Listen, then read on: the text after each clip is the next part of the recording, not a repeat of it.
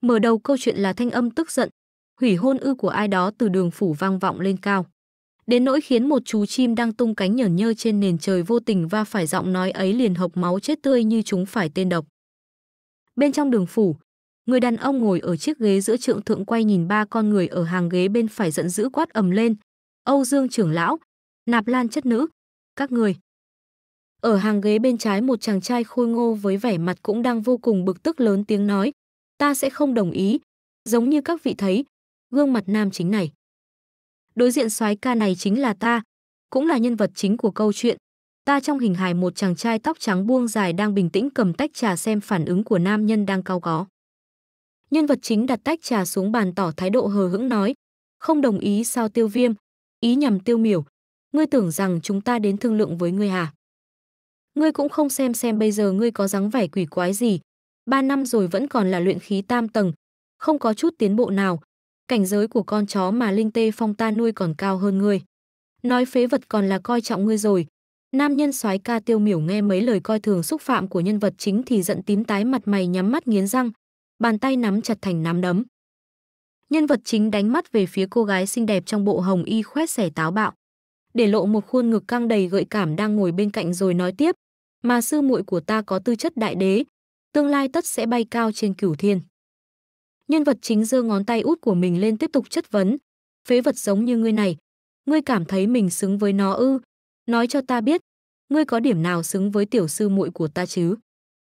Tinh, trước mặt anh đột nhiên hiện ra màn hình hệ thống kèm theo thông báo, ký chủ hoàn thành hành vi phản diện thành công, đạt được 1.000 điểm giá trị phản diện.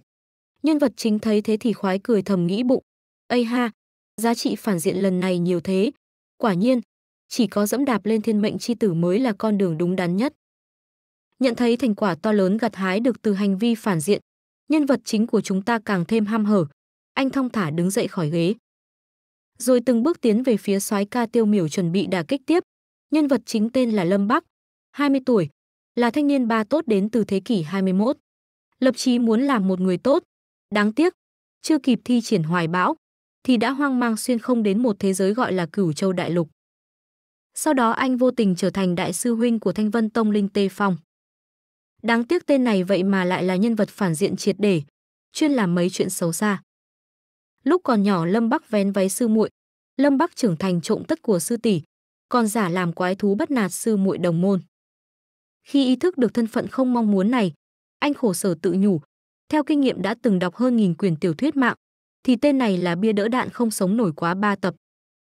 Anh đã tự dặn bản thân, không được, ta phải điều chỉnh lại thiết lập về mình, trở thành người tốt, sống tiếp. Trong lúc Lâm Bắc đang nung nấu quyết tâm thay đổi số phận thì đáng tiếc ngón tay vàng không mời mà tự đến, còn là hệ thống phản diện. Hệ thống này đã làm thay đổi hoàn toàn ý định tốt đẹp ban đầu của anh. Chúc mừng ký chủ đã kích hoạt hệ thống phản diện. Hệ thống đang liên kết. Lâm Bắc đưa hai tay ôm mặt đau khổ rồi than thầm trong bụng.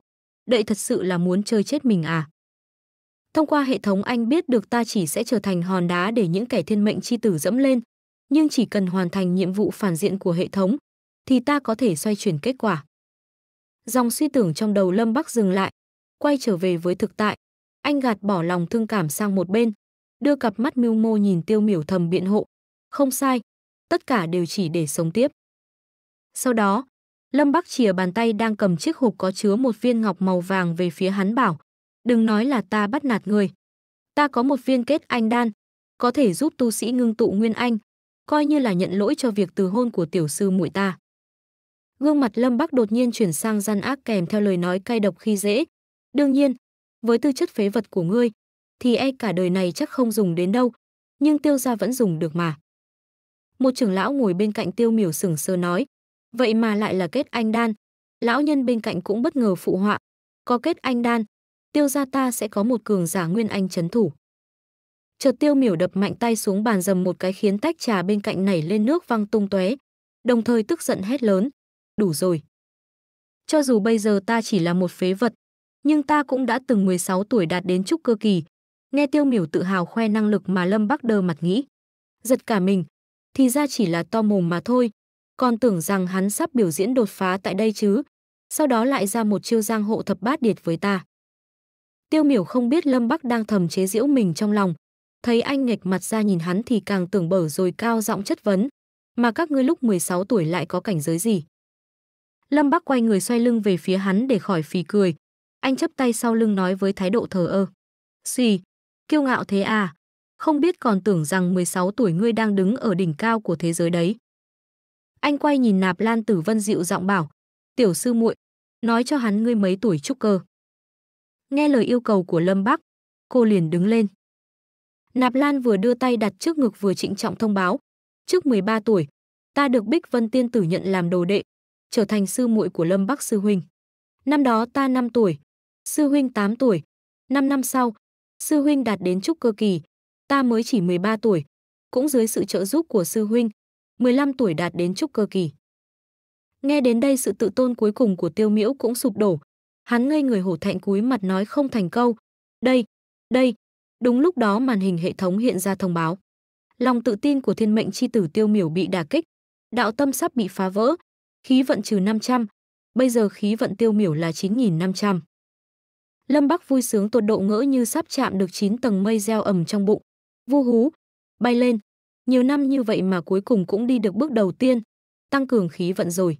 Khi anh đọc được những dòng thông báo của hệ thống, ký chủ thành công áp đảo thiên mệnh chi tử muốn từ hôn, tăng 100 khí vận, phần thưởng 10.000 điểm giá trị phản diện. Gặt hái được thành quả ngoài mong đợi, anh khoái chí nhếch môi nhủ thầm, tăng thêm lửa nào. Nghĩ xong Lâm Bắc tiếp tục dở giọng trêu tức thiên mệnh chi tử, Tiêu miểu, nếu như ta là ngươi, thì đã sớm không còn mặt mũi sống trên thế gian này rồi. Còn về hôn ước giữa ngươi và tiểu sư muội của ta, nói tới đó anh ngưng lại đồng thời đưa tay về phía Nạp Lan Tử Vân.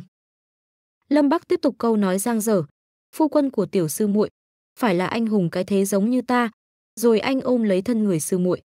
Cố ý nhìn đắm đuối vào đôi mắt sâu lắng của nàng khiến cô gái như bị hớp hồn đỏ mặt e thẹn gọi, "Sư huynh." Lâm Bắc liếc ánh mắt đanh đá nhìn Tiêu Miểu buông lời khinh khi, mà không phải là đồ phế vật giống ngươi. Tiêu Miểu vừa bẻ mặt vừa bực bội vì tưởng mình bị cắm sừng, chán hắn nhíu lại thầm chửi trong lòng, thì ra là thế, thì ra là thế. Đồ tiện nhân nạp Lan Tử Vân này, vì thế mới muốn từ hôn, hai kẻ tiện nhân này, là hai kẻ tiện nhân này, không thể tha thứ, không thể tha thứ. Không kiềm chế được cơn tức giận đang sôi sùng sục trong tâm, hắn điên cuồng hét lên, đôi cẩu nam nữ các ngươi, chết đi cho ta. Rồi kích động đưa tay vận khí xông thẳng về phía hai thân ảnh ở phía trước. Tộc trưởng Tiêu gia hoảng hốt la lên ngăn cản, dừng tay, "Miểu Nhi." Nhưng Tiêu Miểu chưa kịp ra đòn với Lâm Bắc thì đã ăn ngay một cú đá của Nạp Lan vào mặt thổ huyết tại chỗ, sau đó ngã sóng xoài trên nền đất.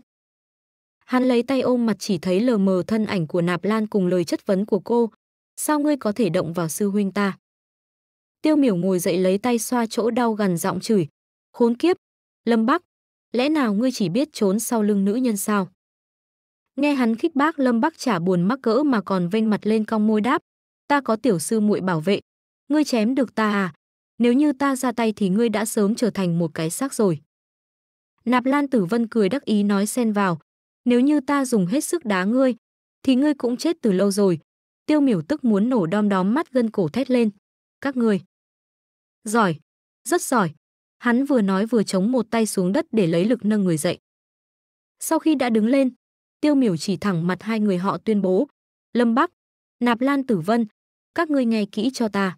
Ba năm, ba năm sau, ta nhất định sẽ lên Thanh Vân Tông đòi hai ngươi trả lại nỗi nhục ngày hôm nay. 30 năm Hà Đông, 30 năm Hà Tây, Lâm Bắc đứng khoanh tay hướng mắt nhìn đâu đâu nghe lời hắn nói như gió thoảng bên tai không buồn để ý. Đến khi Tiêu Miểu nói tới chỗ, đừng bắt nạt, thì một bàn chân đã đạp thẳng vào một bên mặt của hắn đau điếng. Một lần nữa Tiêu Miểu bị đá nằm ngả ngửa trên đất như một con ếch phơi khô. Lâm Bắc chưa vội bỏ chân mình xuống nhỏ giọng tự hỏi, sao đám thiên mệnh chi tử này lại ngốc thế? Vừa lúc đó hệ thống lại hiện ra thông báo. Ký chủ thành công ngăn cản cảnh tượng thiên mệnh chi tử từ hôn, phần thưởng 1.000 điểm giá trị phản diện, khí vận tiêu miểu trừ 250, khí vận ký chủ cộng 50. Thấy tiêu miểu bị ức hiếp sỉ nhục, lão tộc trưởng tức giận gầm lên, các ngươi, và định ra mặt đòi lại công đạo nhưng một vị trưởng lão đã đưa tay ra cản lại. Đồng thời lên tiếng nhắc nhở, tiêu chiếm qua, ngươi đừng quên ngươi là tộc trưởng tiêu gia, còn sức mẻ tình cảm với Thanh Vân Tông thì sẽ có kết cục gì. Tiêu chiếm qua ngẫm nghĩ cân nhắc lợi hại một hồi, chỉ đành nuốt cục tức vào trong giọng xuôi xị, ta biết rồi. Đột nhiên có một cô nương xinh đẹp thân hình gợi cảm không kém nữ nhân nạp lan tử vân, từ bên ngoài tất tả chạy vào lo lắng gọi, tiêu miểu ca ca. Cô đến bên cạnh nam nhân thiên mệnh chi tử vừa đưa tay kiểm tra thân thể hắn vừa hỏi với vẻ thương yêu, tiêu miểu ca ca, ngươi không sao chứ? Hắn chưa hết tức giận nghiến răng đáp, ta không sao. Sau sự xuất hiện bất ngờ này màn hình hệ thống đột ngột hiện ra thông báo, thiên mệnh chi nữ cổ nguyệt xuất hiện giúp đỡ tiêu miểu, khí vận hai người dây dưa, khí vận tiêu miểu cộng 200. Tình thế đột nhiên xoay chuyển có lợi cho tiêu miểu khiến Lâm Bắc có chút sững sờ. Anh thầm than thở, thiên mệnh chi nữ sao? Quả nhiên, khí vận của thiên mệnh chi tử tiêu miểu này không dễ gì bị đè bẹp thế. Xem ra còn cần chặt đứt mối liên hệ giữa hắn và thiên mệnh chi nữ. Sau khi đã nghĩ ra phương sách đối phó, gương mặt Lâm Bắc lại trở nên nguy hiểm. Anh mỉm cười dở giọng khích bác. Ta còn tưởng rằng xương của tiêu miểu ngươi cũng có khí phách lắm, thì ra cũng chỉ sẽ trốn sau lưng nữ nhân. Tiêu miểu một lần nữa lại rơi ngay vào cái bẫy tâm lý của Lâm Bắc dựng sẵn, tức giận gầm gừ. Ngươi! Lâm Bắc cứ nhắm thẳng vào điểm yếu này của hắn mà khai thác, lời lẽ gắn ghép càng lúc càng gay gắt hơn. Ngươi gì mà ngươi? Tiểu sư muội vừa từ hôn với ngươi, ngươi lập tức đã tìm một người thay thế, với thiên phú và tu vi phế vật ngươi, sao ngươi không biết ngại chứ? Ồ đúng rồi, ta quên ngươi không có mặt mũi không có da, nếu không cũng sẽ không dây trước từ hôn, dây sau đã nhào vào lòng của nữ nhân không từ chối. Lâm Bắc đóng vai người bị ức hiếp, vừa làm bộ lấy khăn chạm nước mắt vừa chật lưỡi phán. Đáng tiếc, một bông hoa nhài cắm bãi cướp trầu. Ở bên cạnh nạp lan tử vân phòng má lấy tay che miệng để khỏi phát ra tiếng cười nhưng vẫn không kìm được. Phụt hy. Thấy tiêu miểu tức tối mắt, cổ nguyệt vội nắm lấy tay hắn dịu dàng nói. Tiêu miểu ca ca, nhất thiết đừng trúng kế ly gián của hắn. Sau đó cô quay qua chỉ mặt nam nhân đối diện cao giọng bài xích. Lâm Bắc, đừng tưởng rằng ngươi 13 tuổi đã đạt trúc cơ thì cảm thấy bản thân là thiên tài gì. Ta thấy, thiên phú của ngươi cũng chỉ bình bình mà thôi. Mấy lời này của cô vô tình lại tạo nên hiệu ứng phản đòn. Không những không thể hạ uy danh của Lâm Bắc mà ngược lại khiến niềm kiêu hãnh trong lòng của tiêu miểu một lần nữa bị trà đạp vỡ vụn. Cổ Nguyệt nhìn nam nhân 16 tuổi đạt trúc cơ kỳ đang nằm ngất trên đất, thì hoảng hốt phân bua. a tiêu miểu ca ca, ta không có ý đó. Đúng lúc này, màn hình hệ thống lại hiện ra thông báo. Lòng tự tôn của thiên mệnh chi tử tiêu miểu gặp phải đả kích nghiêm trọng. Khí vận trừ 100, bây giờ khí vận của tiêu miểu là 9.350. Lâm Bắc nghịch mặt nhìn màn cầu cưa của đôi nam nữ trước mặt mà ngơ ngẩn nghĩ. Ôi địch, đánh giúp hay đấy. Nếu không phải hệ thống nói với mình cổ nguyệt là thiên mệnh chi nữ, thì mình còn tưởng rằng cô ta là đồng đội của mình đấy. Sau đó anh lấy lại vẻ nghiêm trang không chút tức giận chấp tay nói một cách khiêm tốn. Cổ Nguyệt cô nương nói đúng, tại hạ quả thực là thiên phú bình bình. Có cơ hội mong cô nương chỉ giáo. Thấy thái độ bình tĩnh của anh Cổ Nguyệt lại càng bực bội. Cô tức nghẹn kêu lên. Người. Thấy tiêu miểu mặt mày bực bội đang lồng cồ ngồi dậy. Cổ Nguyệt vịn vai hắn lo lắng hỏi. Tiêu miểu ca ca, ngươi vẫn ổn chứ? Hắn bị cơn tức giận làm cho mất hết lý trí mà thẳng tay đẩy người cổ Nguyệt, đồng thời hung dữ hét lên, tránh ra, khiến cô đau quá la lên à một tiếng. Lâm Bắc thừa cơ hội lao tới đỡ lấy tấm thân người đẹp hỏi với giọng quan tâm, không sao chứ, cổ nguyệt cô nương. Chứng kiến cảnh đó tiêu miểu lại càng thêm gay mắt nên quay người chạy thục mạng về phía cửa. Thấy hắn rời đi cổ nguyệt hốt hoảng gọi với theo, tiêu miểu ca ca. Sau đó cô vùng chạy theo, miệng la ý ới, tiêu miểu ca ca, chờ ta. Kịch hay đã hạ màn, Lâm Bắc lên tiếng bảo, nếu chuyện cần làm đã xong rồi thì Âu Dương trưởng lão, sư muội, chúng ta cũng đi đi. Vừa bước ra khỏi cửa đường phủ nhìn thấy xác chú chim lúc đầu bị thanh âm của tiêu chiếm qua triệt hạ. Nạp Lan ngạc nhiên la lên, sư huynh, huynh xem con chim nằm trên mặt đất kìa. Chuyển cảnh vào buổi tối đêm trăng tròn bên trên một mái nhà. Thân ảnh của Lâm Bắc bay xẹt ngang giữa vầng trăng sáng rực cùng với mớ suy nghĩ ngổn ngang, tiêu hao 3.000 giá trị phản diện. Hệ thống cũng tính ra cơ duyên tiếp theo của tiêu miểu là ở ngọn núi sau tiêu ra vào tối nay. Hơn nữa cơ duyên tối nay còn khiến tiêu miểu cuột khởi. Đáp chân xuống mái nhà xong Lâm Bắc lại cười đắc ý nghĩ. Như vậy không được. Cơ duyên này tiêu miểu ngươi không nắm được. Vẫn nên giao cho Lâm Bắc ta đi. Chuyển cảnh đến phía sau ngọn núi của tiêu gia. Chính giữa một mặt hồ rộng lớn đang phẳng lặng đột nhiên xuất hiện bọt khí cùng tiếng bì bõm. Không lâu sau nước văng ra tung tóe, Tiêu miểu ngoi đầu lên khỏi mặt nước há miệng hớp lấy không khí thở hồng hộc. Hắn đưa tay vẫy vẫy một thân ảnh màu xanh như sương khói đang rực sáng, nói với giọng nghi ngờ pha lẫn trách móc. Hàm lão, chắc người không lừa ta đấy chứ. Dưới đáy ấn Nguyệt Hồ ở sau núi tiêu gia này có cơ duyên mà ngươi nói đó à. toàn là nham thạch bình thường. Lão nhân nghe hắn nói thì chống cầm vẻ mặt đăm chiêu lầm nhầm. Sao lại thế chứ? Tính toán của ta trước giờ chưa từng có sai sót. Lúc này ở sâu trong rừng, Lâm Bắc đang tung tăng với một chiếc hộp hình vuông ở trên tay. Anh đưa chiếc hộp lên trước mặt ngắm nghía rồi cười thích thú nghĩ. Hê hê, ngươi có lão ra ra thì làm sao? Ta lại có hệ thống tác giả vững chắc. Cùng lúc đó màn hình hệ thống cũng bật lên thông báo. Ký chủ đã thành công đoạt được cơ duyên quan trọng của tiêu miểu. Tứ phương linh hộp, khí vận tiêu miểu trừ 2.000. Khí vận ký chủ cộng 400, phần thưởng giá trị phản diện 20.000. Lâm Bắc thỏa mãn thầm tự hỏi, cũng không biết nếu như tiêu miểu dưới đáy hồ không có gì cả, thì sẽ có biểu cảm như nào. Hệ thống tiếp tục cung cấp thông tin về chiếc hộp báu vật mà Lâm Bắc vừa phỏng tay trên của tiêu miểu, tứ phương linh hộp. Tiên khí rơi từ tiên giới xuống cửu châu đại lục, có thể để vào trong linh hộp, rút hết tất cả tinh túy của linh vật ra, sau đó cô đặc thành nguyên thạch. Tứ phương linh hộp tạm thời vẫn bị phong ấn, bây giờ ký chủ chỉ có thể rút được linh vật dưới nguyên anh giai và rèn luyện chế đan dược khí vật cảnh giới nguyên anh. Lâm Bắc tập trung xem xét chiếc hộp quý rồi tặc lưỡi nói thầm, chậc chậc, không hổ là thiên mệnh chi tử. Tùy tiện đã có tiên khí rồi, mà không hay biết rằng sau lưng mình đang có một bóng dáng nữ nhân xuất hiện. Cổ Nguyệt bước lại gần nhìn anh với cặp mắt đa nghi rồi bất thình lình gọi lớn, Lâm Bắc. Anh quay lại thấy cô thì giật thót bụng, rồi nhanh như sóc nhảy lộn mèo lùi về phía sau, cố ý giữ khoảng cách an toàn. Thấy thái độ lén lút của hắn, cổ Nguyệt đanh mặt lại hỏi với vẻ nghi ngờ, tại sao ngươi lại xuất hiện ở sau núi Lâm gia? Đầu óc Lâm Bắc ngay lập tức xoay như một chiếc trong chóng, không cần suy nghĩ liền có thể đối đáp một cách trôi chảy, mà còn là mấy lời thả thính bóng bẩy lấy cắp từ tiểu thuyết. Đêm dài đằng đẵng, lòng không muốn ngủ, hôm nay sau khi gặp được cổ tiểu thư, bóng dáng đẹp đó dập dờn trong đầu ta, không thể nào tan đi. Anh cố trưng ra vẻ mặt thành thật cùng thanh âm tự nhiên nhất có thể. Bất giác, ta liền đến đây, cuối cùng lại gặp được cổ tiểu nguyệt ngươi lần nữa. Nghe mấy lời trêu hoa gẹo nguyệt của anh, cổ nguyệt không chút động lòng mà tỉnh táo nói, mồm mép láo lỉnh, ta thấy ngươi đến gây bất lợi cho tiêu ca ca. Rồi cô hét lên, xem trưởng đây, đồng thời đưa tay lên để thi triển một trưởng về phía anh. Nhưng Lâm Bắc đã nhanh nhẹn tránh người sang một bên khiến cô mất đà ngã nhòi người về phía trước. Sau đó anh đưa tay bắt lấy cổ tay cô lôi lại. Trong nháy mắt cơ thể của cổ Nguyệt đã nằm gọn trong vòng tay của Lâm Bắc. Thân ảnh nàng ngả người vào cánh tay chàng như đang khiêu vũ trước vầng trăng rực sáng trên đồng cỏ bao la, nhìn đẹp và lãng mạn không thể tả. Lâm Bắc miệng ngậm một cành hoa hồng rồi mượn lời bài hát ánh trăng nói hộ lòng tôi buông lời tán tỉnh.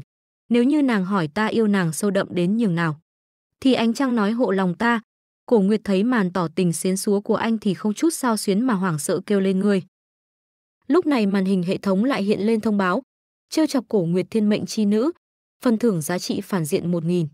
Lâm Bắc thấy vậy thì khoái chí cười thầm, hê hê, cũng không thiệt khi xem nhiều tiểu thuyết cầu huyết, dùng tổ hợp này, ta không tin không cưa được con bé này. Nhưng Lâm Bắc chưa kịp giở trò tiếp thì liền cảm nhận thấy một nguồn khí tức cực lớn đang bao trùm không gian, cùng một giọng nói đầy uy lực vang vọng tới, thả tiểu thư ra. Cổ Nguyệt thấy sự xuất hiện của một lão nhân thì mừng rỡ reo lên, tu lão, người đàn ông đang dùng ánh mắt té lửa nhìn Lâm Bắc này chính là người bảo vệ cổ Nguyệt, cổ tu.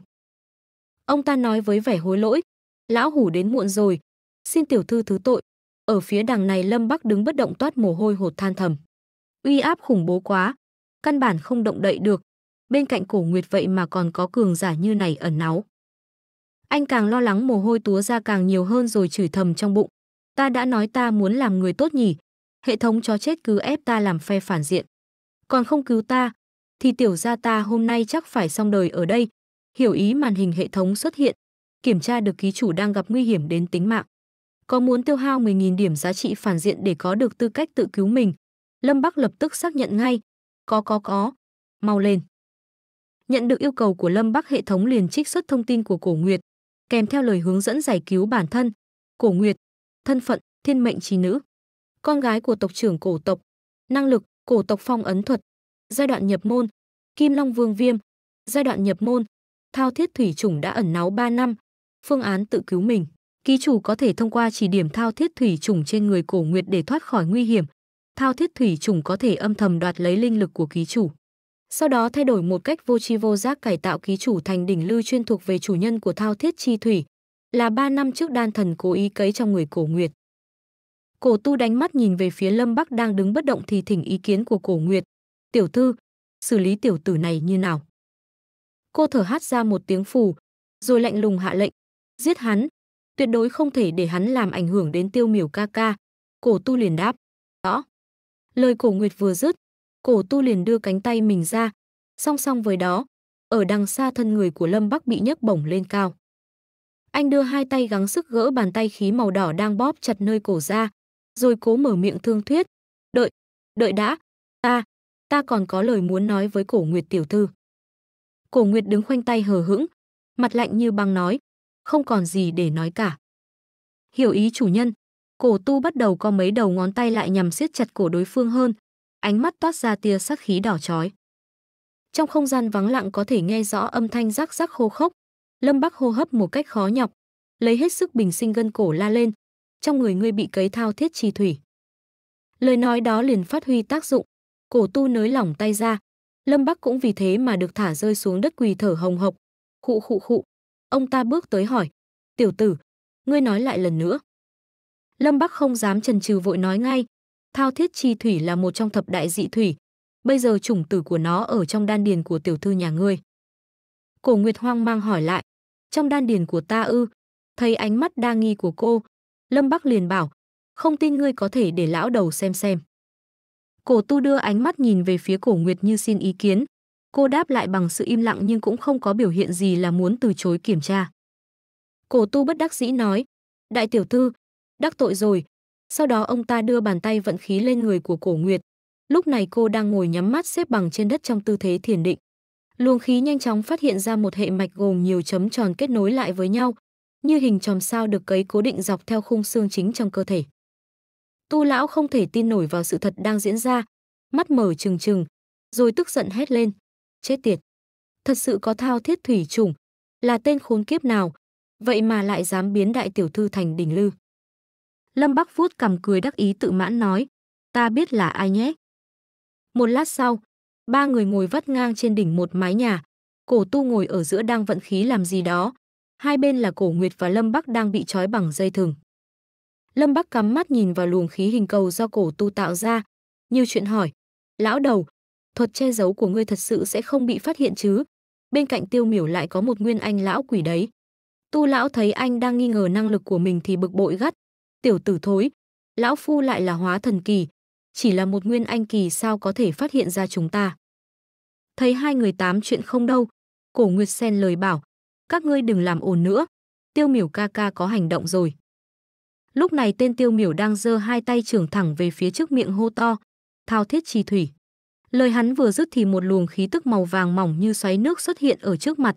Hai bên bàn tay là hai luồng khí tức màu đỏ như ngọn lửa bốc ra ngùn ngụt.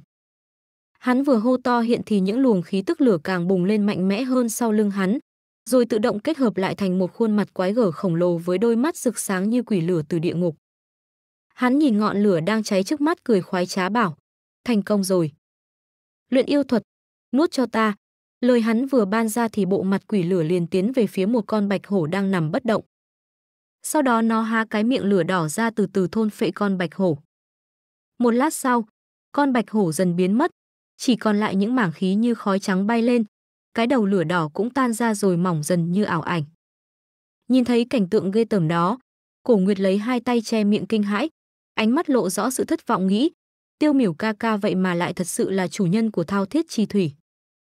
Đúng lúc đó bầu trời đột nhiên tối lại, mây gió sấm chớp đùng đùng kéo đến, giống như để chia buồn cho niềm tin không được đặt đúng chỗ của Cổ Nguyệt.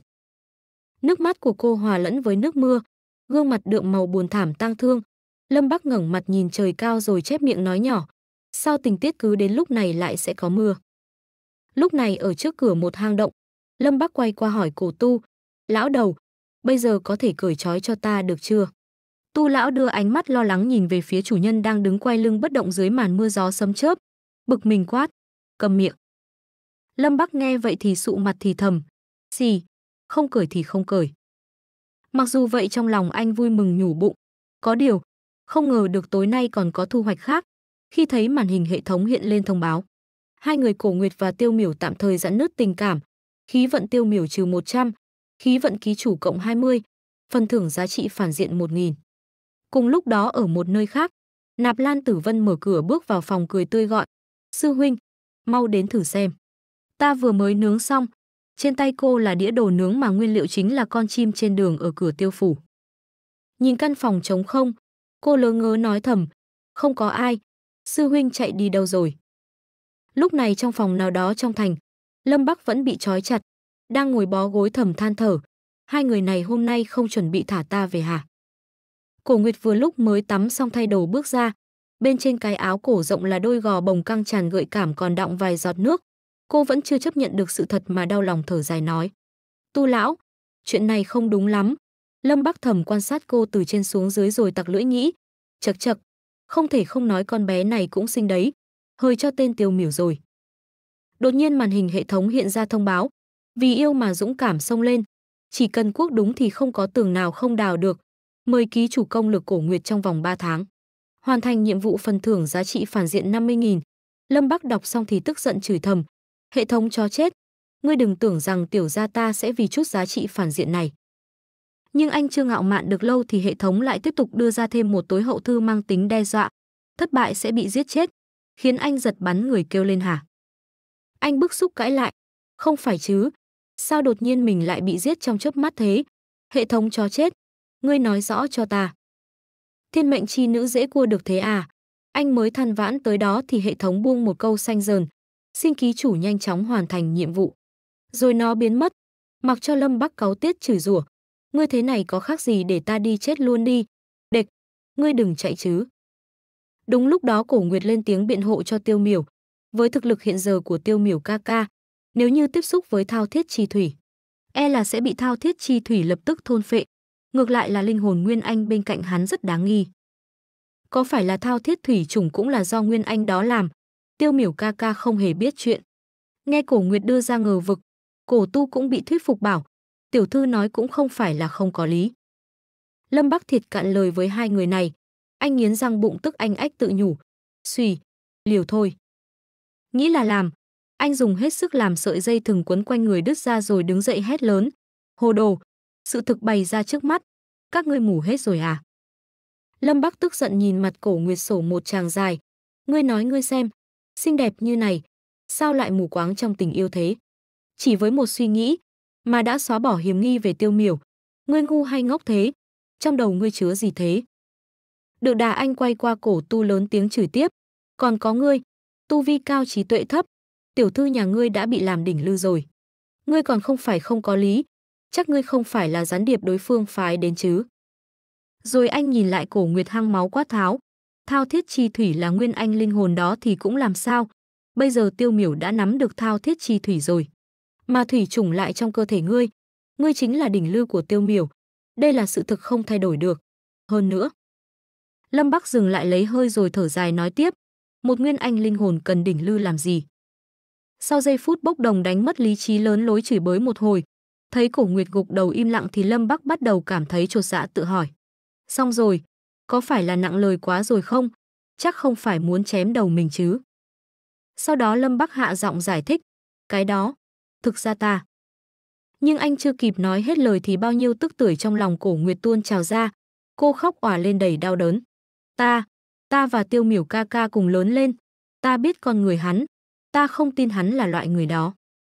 Cô cảm thấy như tim gan đang quặn thắt lại từng cơn, rồi ngồi sụp xuống ghế ôm bụng rên rỉ. Cổ Nguyệt ức nghẹn đến nỗi thổ cả huyết. Cổ Tu thấy vậy lo lắng hỏi, "Tiểu thư, cô làm sao thế?" Sau đó cô ngã vật ra khỏi ghế, vừa quỳ trên đất vừa lấy tay đấm thùng thụp xuống nền nhà. Cổ Nguyệt khổ tâm nói tiếp nhưng tiếng nói phát ra bị đứt quãng. Sau khi biết thủy trùng, ta vẫn luôn dùng dị hỏa của gia tộc, muốn thiêu cháy. Tu lão nhận ra vấn đề liền hốt hoảng la lên. Nguy rồi, tiểu thư cứ dùng dị hỏa để thiêu cháy thao thiết thủy trùng đã khơi lên phản phệ của nó. Cứ tiếp tục như này e là. Lâm Bắc nhìn cô gái đang suy sụp tinh thần ngồi bệt dưới đất mà khó hiểu tự hỏi. Chuyện gì thế? Sao đột nhiên phản phệ rồi? Chợt một ý niệm xấu hiện lên trong đầu anh.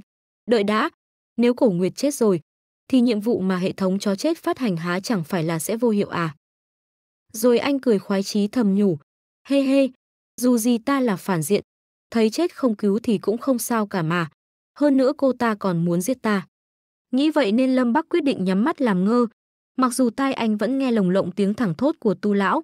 Chết tiệt, bây giờ đã không kịp cầu cứu gia tộc nữa rồi. Cổ Nguyệt cũng đau đớn rên la. Ư a a a a a a. Khiến Lâm Bắc muốn nhắm mắt cho qua cũng không được. Cảm giác không nỡ dâng lên mãnh liệt buộc anh phải hành động. Bất đắc dĩ anh đành mở mắt ra hét lên. Xùy, phiền chết mất. Hệ thống, mở cửa hàng, liệt kê những thứ có thể phong ấn thao thiết thủy trùng ra. Thể theo yêu cầu của Lâm Bắc, hệ thống hiện lên trang vật phẩm của cửa hàng phản diện. Hỗn độn thanh liên giá bán 999.999 giá trị phản diện. Thái cực đồ giá bán 999.999 giá trị phản diện. Tạo hóa ngọc diệp giá bán 999.999 giá trị phản diện. Khai thiên thần phù giá bán 999.999 giá trị phản diện. Nhìn lại số dư giá trị phản diện 30.000 của mình, Lâm Bắc siết nắm tay tức mình hỏi, ngươi cảm thấy ta mua nổi những thứ này à? Như hiểu được tâm lý của người nghèo khổ, hệ thống đưa ra một món hàng rất vừa với túi tiền của Lâm Bắc, âm dương song cực tỏa nguyên quyết, giá bán 30.000 giá trị phản diện. Kèm theo lời hướng dẫn sử dụng, bí pháp song tu, trong quá trình vận hành bí pháp, hai bên nam nữ sẽ trồng phong ấn thuần dương, thuần âm vào cơ thể của nhau. Phong ấn hình thành từ bí pháp ngoại trừ có thể kết hợp sức mạnh âm dương, chấn áp dị vật xâm nhập trong cơ thể, thì còn có thể dùng để tinh luyện linh lực. Nâng cao tỷ lệ đột phá cảnh giới. Lâm Bắc xem xong có chút không vui bèn nói móc họng. Giá này, ngươi cố nhằm vào số dư của ta nhỉ? Hệ thống lạnh lùng hỏi lại, có mua hay không? Lâm Bắc vội đáp, mua, ta nhịn. Sau đó hệ thống đưa ra thông báo, giao dịch thành công. Số dư giá trị phản diện không, đồng thời một luồng khí tức bay vần vèo xuất hiện truyền thẳng vào người của anh. Lúc này tu lão đã hết cách, nên quyết định làm liều. Ông ta vừa giơ bàn tay lên chuẩn bị thi triển pháp thuật lên người cổ nguyệt vừa tuyệt vọng bảo. Chỉ có thể thử dùng chân khí của ta ép thủy trùng ra. Hôm nay cho dù phải liều cái mạng già này cũng không thể để tiểu thư gặp chuyện. Nhưng bàn tay của tu lão chưa kịp làm gì đã bị Lâm Bắc nắm lại. Ông ta nhìn anh bằng ánh mắt khó hiểu pha lẫn bực bội hỏi. Tiểu tử, ngươi làm gì thế? Lâm Bắc điềm tĩnh đáp. Lão đầu, nếu như không muốn tiểu thư gặp chuyện, thì ngoan ngoãn ra ngoài hộ pháp, tiểu gia ta tự có cách cứu cô ta. Tu lão hất bàn tay anh ra giận dữ quát lên, tiểu tử, bây giờ lão phu không rảnh đùa với ngươi, không muốn chết thì cút. Ngay lúc đó, cổ nguyệt đột nhiên thổ huyết lần nữa, cụ, cổ tu thấy vậy sợ hãi la lên, tiểu thư.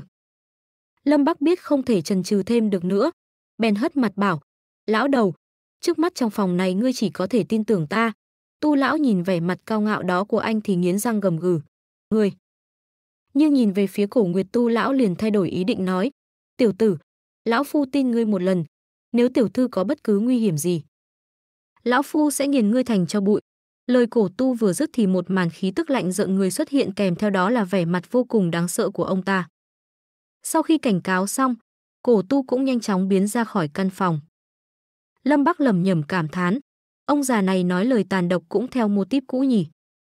Anh chưa hết cay cú, tiếp tục lên tiếng chất vấn. Hệ thống cho chết, tại sao lần này ta muốn cứu cô gái này, ngươi lại không cản?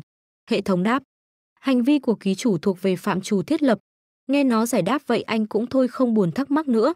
Hạ giọng bảo, được rồi, vậy ta làm đây. Sau đó Lâm Bắc và Cổ Nguyệt nhắm mắt ngồi xếp bằng đối mặt nhau ở trên giường, hai cơ thể cởi trần cánh tay đưa thẳng về phía trước đan vào nhau để truyền công, khí tức từ hai thân người bốc lên như khói. Được một lúc lâu cổ Nguyệt cũng mở mắt ra mà vô thức rên rỉ. Ư, lạnh quá, ta chết rồi sao? Lâm Bắc ở phía đối diện cười tươi như hoa nói, cuối cùng ngươi cũng tỉnh rồi, xem ra thao thiết thủy chủng đã bị trấn áp rồi. Cổ Nguyệt nhìn chàng trai đang ngồi ở trần trước mặt sừng sốt kêu lên, ngươi, rồi đánh mắt nhìn xuống thân người không mảnh áo của mình sừng sờ thốt lên. à, Mặt cô bất giác đỏ bừng lên rồi vội vàng đưa tay che lấy hai quả đào của mình. Và sau đó là tiếng mắng chửi của cổ nguyệt và tiếng la oai oái của Lâm Bắc. Dâm tặc, chết đi cho ta. Ôi địch, ta cứu ngươi, ngươi còn đánh ta. Chuyển cảnh đến chỗ của nạp lan tử vân. Cô ngồi đợi Lâm Bắc cả đêm đến nỗi gục đầu trên bàn ngủ quên tự đời nào. Đột nhiên cô mở mắt ra cười ha ha ha ha. Rồi đứng dậy với ánh mắt đầy sát khí. Cô đưa tay khẽ rút thanh kiếm, miệng buôn lời phiền trách cả đêm không về, không có tin tức, xem ra có người chơi bời quên mất tiểu sư muội của mình rồi. Lâm Bắc mặt mày sưng húp nắm bàn tay siết chặt vẫn còn đang run rẩy tức tối nói, "Hừ, Cổ Nguyệt ngươi chờ đó cho ta." Anh tưởng tượng đến cảnh cổ Nguyệt quỳ thụp đầu hạ mình nói, xin tận tình phân phó cổ Nguyệt, mà sung sướng tự nhủ, ba tháng sau xem lão tử khiến ngươi thần phục dưới chân ta như nào. Đúng lúc đó một đứa trẻ đang được mẹ dắt đi trên phố đưa tay chỉ trỏ Lâm Bắc cười cợt. Mẹ mau nhìn đi. Là chư bát giới. Bà mẹ thấy anh cười ngây ngô hê hê hê hê hê. Thì liền bảo thằng bé. Đừng nhìn hắn. Đó là một tên ngốc. Một lát sau Lâm Bắc cũng về tới phòng mình. Anh mở cửa bước vào. Nhìn khắp phòng một lượt rồi cười yên bụng nói. Ha ha. Giống hệt với lúc ra ngoài. Xem ra không ai phát hiện ra tối qua mình đến tiêu ra chơi một đêm, Lời anh vừa nói ra cũng là lúc Nạp Lan Tử Vân xuất hiện ở ngay sau lưng. Cô đưa mặt qua vai Lâm Bắc mỉm cười thì thầm. Sư huynh, có thể nói xem tối qua chơi như nào không? Bị bắt gặp anh hoảng hồn mặt tái mét rồi hét toáng lên giật mình. Và thế là một màn tra tấn khủng khiếp từ cô sư muội bệnh kiều được diễn ra. Chuyển cảnh đến trong rừng, cổ Nguyệt đứng khoanh tay hỏi với giọng khó chịu. Vì thế ngươi liền bán đứng chúng ta. Ở bên cạnh tu lão vừa đưa ngón tay lên vận khí vừa cảm giảm. Thêm một người nữa, phạm vi thuật che giấu cũng phải mở rộng hơn. Lâm Bắc lúc này toàn thân bị quấn băng không khác gì xác ướp Ai Cập cố gắng biện bạch, thêm một người là thêm một phần sức mà. Cùng lúc đó ở một tiểu viện trong rừng, có một chàng trai lững đững bước về phía căn nhà mình. Anh ta vừa mở cửa ra liền hỏi ngay, Tiêu huynh, thương thế thế nào rồi, đã đỡ hơn chưa? Đột nhiên anh ta phát hiện ra điều gì đó quá sức tưởng tượng nên trao mày đầy ngạc nhiên. Nhìn thấy tiêu miểu đang dùng thao thiết thủy chủng để thôn phệ một con chó sói ở trên giường. Anh ta sừng sốt hỏi, ngươi đang làm gì thế? Tiêu miểu cười tươi như hoa đáp, ta đang luyện hóa xác của khôi yêu lang để trị thương. Không thể không nói, con khôi yêu lang này của Trương Tam Huynh được đấy. Chàng trai vừa đưa tay rút thanh kiếm vừa tức giận hét lên, dừng tay cho ta, tên khốn ngươi, đây là tiền thuốc của mẫu thân ta. Tiêu miễu đưa bàn tay ra đỡ lấy thanh kiếm ngang ngược hỏi, chỉ là một con khôi yêu lang thôi, các ngươi không biết đi săn con khác sao? Chàng trai mặt mày cau có đáp, ngày nào mẫu thân của ta cũng cần uống thuốc, con khôi yêu lang này đổi lấy thuốc. Có thể chống đỡ được bệnh tình của bà ấy cho đến khi thương thế của ta và muội muội lành lại, sau đó chúng ta có thể đi săn con khôi yêu lang khác. Sau đó giọng anh ta từ trách móc chuyển qua mắng chửi, nhưng hiện giờ, ngươi đã hủy đi tất cả, tên vô tình vô nghĩa ngươi, ta thật sự hối hận đã cứu ngươi. Tiêu Miễu chẳng những không biết hối lỗi mà mặt u tối nói ngang, ta vốn có lòng cảm tạ ngươi, nhưng bây giờ ngươi lại vì chút chuyện nhỏ mà muốn giết ta. Vậy thì đừng trách ta không khách khí, nói dứt lời vẻ mặt của hắn đanh lại đầy ác độc. Hắn vừa hô lớn, thao thiết chi thủy, thôn phệ hắn, vừa đưa tay triệu hồi khuôn mặt quỷ đỏ bay về phía chàng trai ân nhân của mình. Chàng trai thấy hắn lấy oán báo ơn thì tức giận xen lẫn sợ hãi nói, tiêu miểu tên khốn ngươi.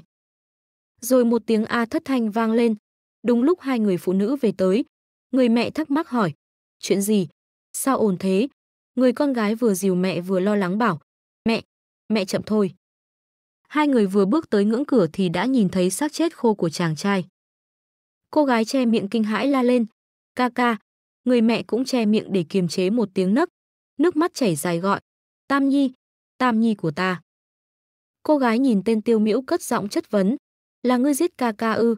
Ca ca cứu ngươi. Ngươi tại sao? Tiêu miễu mặt bình thản đáp. Ta vốn không muốn giết hắn. Đều là hắn tự tìm. Cô gái lòng đầy cam phẫn chừng mắt mắng. Tên vong ân phụ nghĩa ngươi. Ta phải giết ngươi. Người mẹ thấy con gái muốn liều mạng thì vội can ngăn. Tư nhi, đừng kích động. Ca ngươi không đánh lại hắn. Ngươi lại càng không phải là đối thủ của hắn. Nói xong bà vội vàng đẩy cô con gái ra ngoài. Tên tiêu miểu nhìn theo cười bảo, lão thái thái đừng sợ, tiêu miểu ta làm việc ân oán phân minh, tuyệt đối sẽ không lạm sát người vô tội. Bộ mặt vô nhân tính của hắn hiển hiện rõ ràng trên tấm gương khí do tu lão tạo ra, điều này khiến cả ba trong phút chốc hạn hán lời luôn. Ngay sau đó Nạp Lan Tử Vân nổi giận đùng đùng bẻ gãy luôn khúc cây cầm trên tay ra làm đôi, rồi bức xúc ngoác miệng chửi rủa. Khốn kiếp! Quả thực là khốn kiếp! Huynh muội Trương gia đã cứu ngươi lúc ngươi bị yêu thú vây đánh suýt mất mạng ngươi lại nuốt cả xác yêu thú mà người ta định đi đổi lấy tiền cứu mẹ, còn giết người ta. Tiêu miểu này quả thực là tên xúc sinh. Không đúng, hơi sỉ nhục cho từ xúc sinh. Lâm Bắc lặp lại câu nói của tiêu miểu, làm việc ân oán phân minh, tuyệt đối không lạm sát người vô tội, rồi vuốt cằm mặt đăm chiêu suy nghĩ. Sau khi chứng kiến sự tàn ác của tiêu miểu, tu lão cũng cất lời dặn dò cổ nguyệt, tiểu thư, sau khi về tiêu phủ, Cô cố gắng đừng qua lại với hắn nữa, tránh bị tổn thương. Cổ Nguyệt nhắm mắt tuyệt vọng đáp, ta biết rồi. Sau đó cô chắn nản bảo, không cần xem nữa, chúng ta đi thôi. Cổ tu vâng lệnh đáp, rõ, đại tiểu thư. Lâm Bắc thấy vậy liền khoái chí cười thầm, thất vọng tràn trề. Tốt đấy. Vừa lúc đó hệ thống hiện lên thông báo, Cổ Nguyệt thất vọng về tiêu miểu, khí vận tiêu miểu trừ 3000, vận khí ký chủ cộng 600. Phần thưởng giá trị phản diện 30.000. Lâm Bắc xem thấy thì phấn khích gieo hò trong lòng. Tiểu gia tiêu nhiều giá trị phản diện như vậy cứu cô gái này, cũng coi như không vô ích. Chuyển cảnh đến buổi tối trên nền trời đêm đầy sao, một chiếc thuyền phát linh khí xanh sáng bay xẹt ngang qua, giống hệt như sao chổi đang bay vút giữa dãy ngân hà. Bên trong chiếc thuyền, Lâm Bắc đang ngồi ở chiếc bàn bên cạnh cửa sổ, đưa mắt lơ đễnh ngắm trời đêm nhưng trong lòng ngổn ngang tâm sự. Tiêu Miểu lúc này đã không vật được chút khí vận nào rồi, vậy thì sau khi về tông môn, mình nên đi vật khí vận ở đâu đây? Có điều nói lại thì, nghĩ đến đây anh vô tình đưa mắt nhìn về hướng trước mặt. Trông thấy trên chiếc giường ở phía đối diện, Cổ Nguyệt đang ngồi ngay ngắn im lặng tự đời nào. Lâm Bắc giật nảy người lấy tay chỉ về hướng cô hỏi, tại sao ngươi cũng ở đây? Cổ Nguyệt đáp ngắn gọn, theo ngươi về tông môn.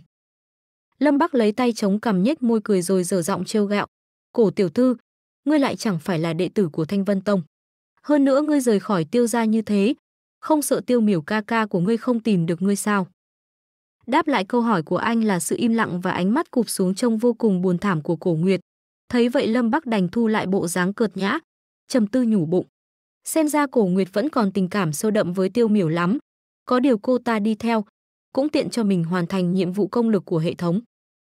Khi Lâm Bắc lại gần cổ Nguyệt, cô mới nghẹn ngào nói qua làn nước mắt đang rơi lách tách. Ta biết ngươi đang chê cười ta, nhưng... Không để cô nói hết lời, Lâm Bắc khẽ đưa bàn tay mình ra, hướng đến gương mặt đang đẫm nước của cô. Anh lấy tay nâng cầm cô lên nhìn sâu vào đôi mắt yêu buồn đó chép miệng giải thích. Thì ra cổ tiểu thư là người thích khóc như này. Ta không có ý chê cười ngươi, chỉ là nhắc nhở ngươi. Đến địa bàn của ta, ngươi không sợ. Nói đến đây Lâm Bắc cố ý ngưng lại rồi cười nham nhở nói tiếp. Ta ăn ngươi sao? Lời chọc gẹo của anh vừa phát ra ngay lập tức nhận được hồi đáp từ hệ thống. Giá trị phản diện tăng 500. Lúc này cổ nguyệt dường như mới nhận ra sự nguy hiểm tiềm ẩn. Hoảng loạn hét lên. Ngươi, ngươi, ngươi dám. Lâm Bắc đẩy cô nằm ngã ra giường. Cười gian trá hỏi. Ngươi nói xem ta có dám không? Sau hành động biến thái đó hệ thống liền hiện lên thông báo. Giá trị phản diện tăng 500. Cổ Nguyệt đưa đôi mắt lo sợ liếc Lâm Bắc, mặt ửng đỏ lắp bắp nói, "Dù, dù gì ngươi, ngươi đã nhìn sạch cơ thể ta rồi." Đúng lúc đó âm báo hệ thống vang lên, tiến độ công lực 35%. Lâm Bắc có chút ngạc nhiên tự hỏi, "Hả, như này mà đã 35%?" Đột nhiên Nạp Lan Tử Vân từ bên ngoài bước vào, nhìn cảnh tượng trước mắt Nạp Lan sững sờ kêu lên, "Sư huynh, huynh." Lâm Bắc cảm nhận được sát khí đang tỏa ra phừng phừng phía sau lưng mình thì toát mồ hôi hột than thầm. Xong rồi. Sau đó là âm thanh sắc lạnh của thanh kiếm được rút từ từ ra khỏi vỏ trên tay Nạp Lan.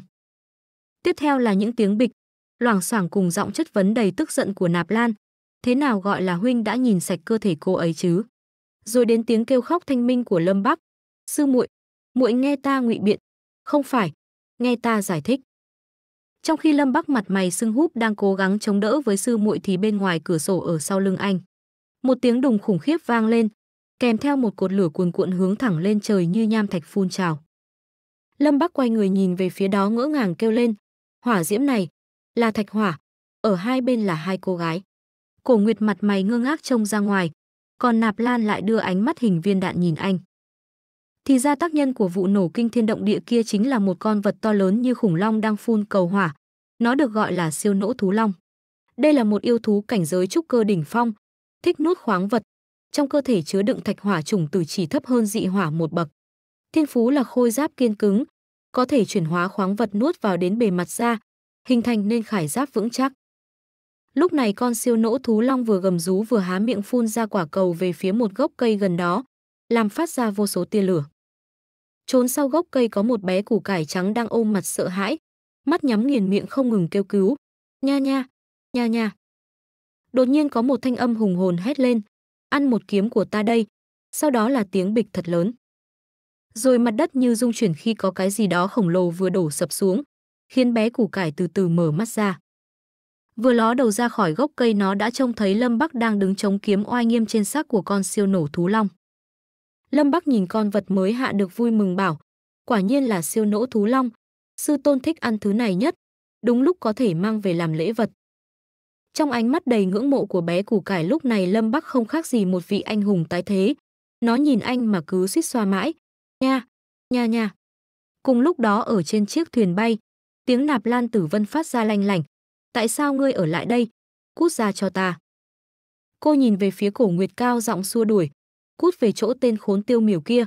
Cổ nguyệt trừng mắt quát lại. Ta thích ở đâu thì ở đó. Không cần ngươi phải phở lo. Nạp Lan tức giận rút thanh kiếm ra tiếp tục gây sự. Hừ, ta thấy ngươi thích sư huynh của ta rồi. Cổ Nguyệt rút dây roi của mình ra đỡ. Gân cổ phản bác.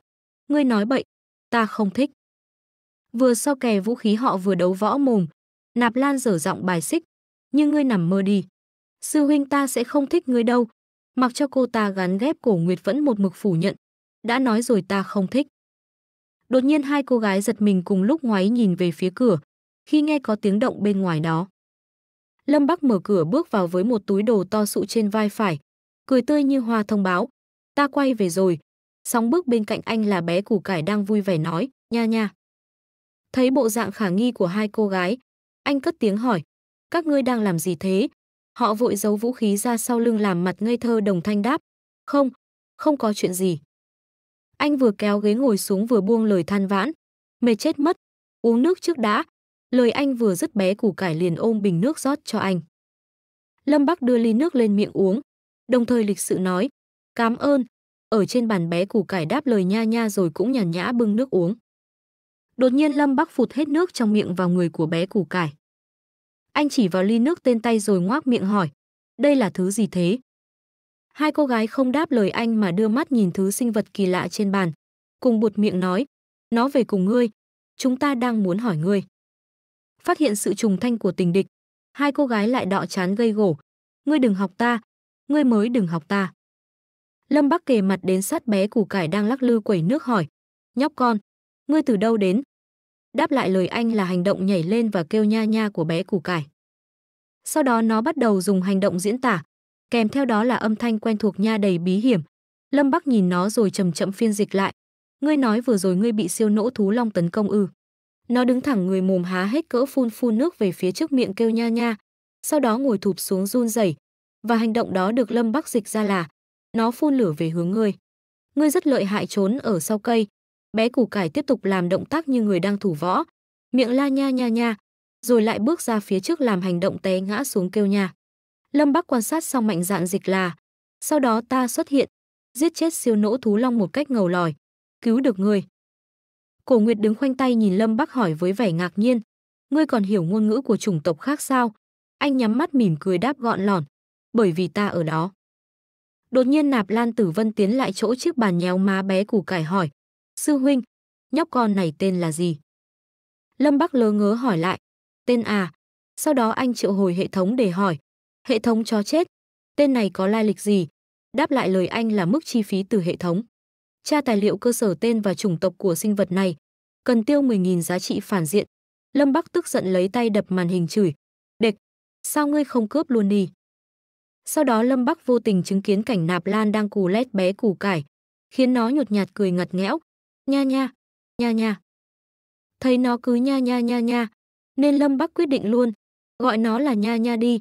Nạp Lan cười khoái chí tán thành, "Nha nha, xem ra nhóc con này rất thích cái tên này." Nhớ lại cái giá mà hệ thống đưa ra, Lâm Bắc vuốt cằm trầm ngâm, chỉ là tra xem tài liệu cơ sở thôi mà đã cần nhiều giá trị phản diện như thế. la lịch của tên này không nhỏ đâu, bỏ đi, sau này từ từ nghiên cứu.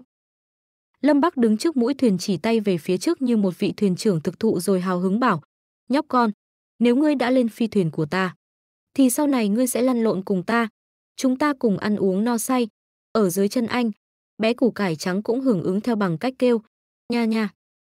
Chuyển cảnh đến Thanh Vân Tông, xứ sở của những ngọn núi đá. Lâm Bắc rời khỏi thuyền liền vội vã đi trước, vừa đội nha nha trên đầu vừa cười hớn hở bảo, Thanh Vân Tông, ta về rồi đây. Bé củ cải bám lấy đầu anh mặt vui tươi không kém luôn miệng kêu nha nha.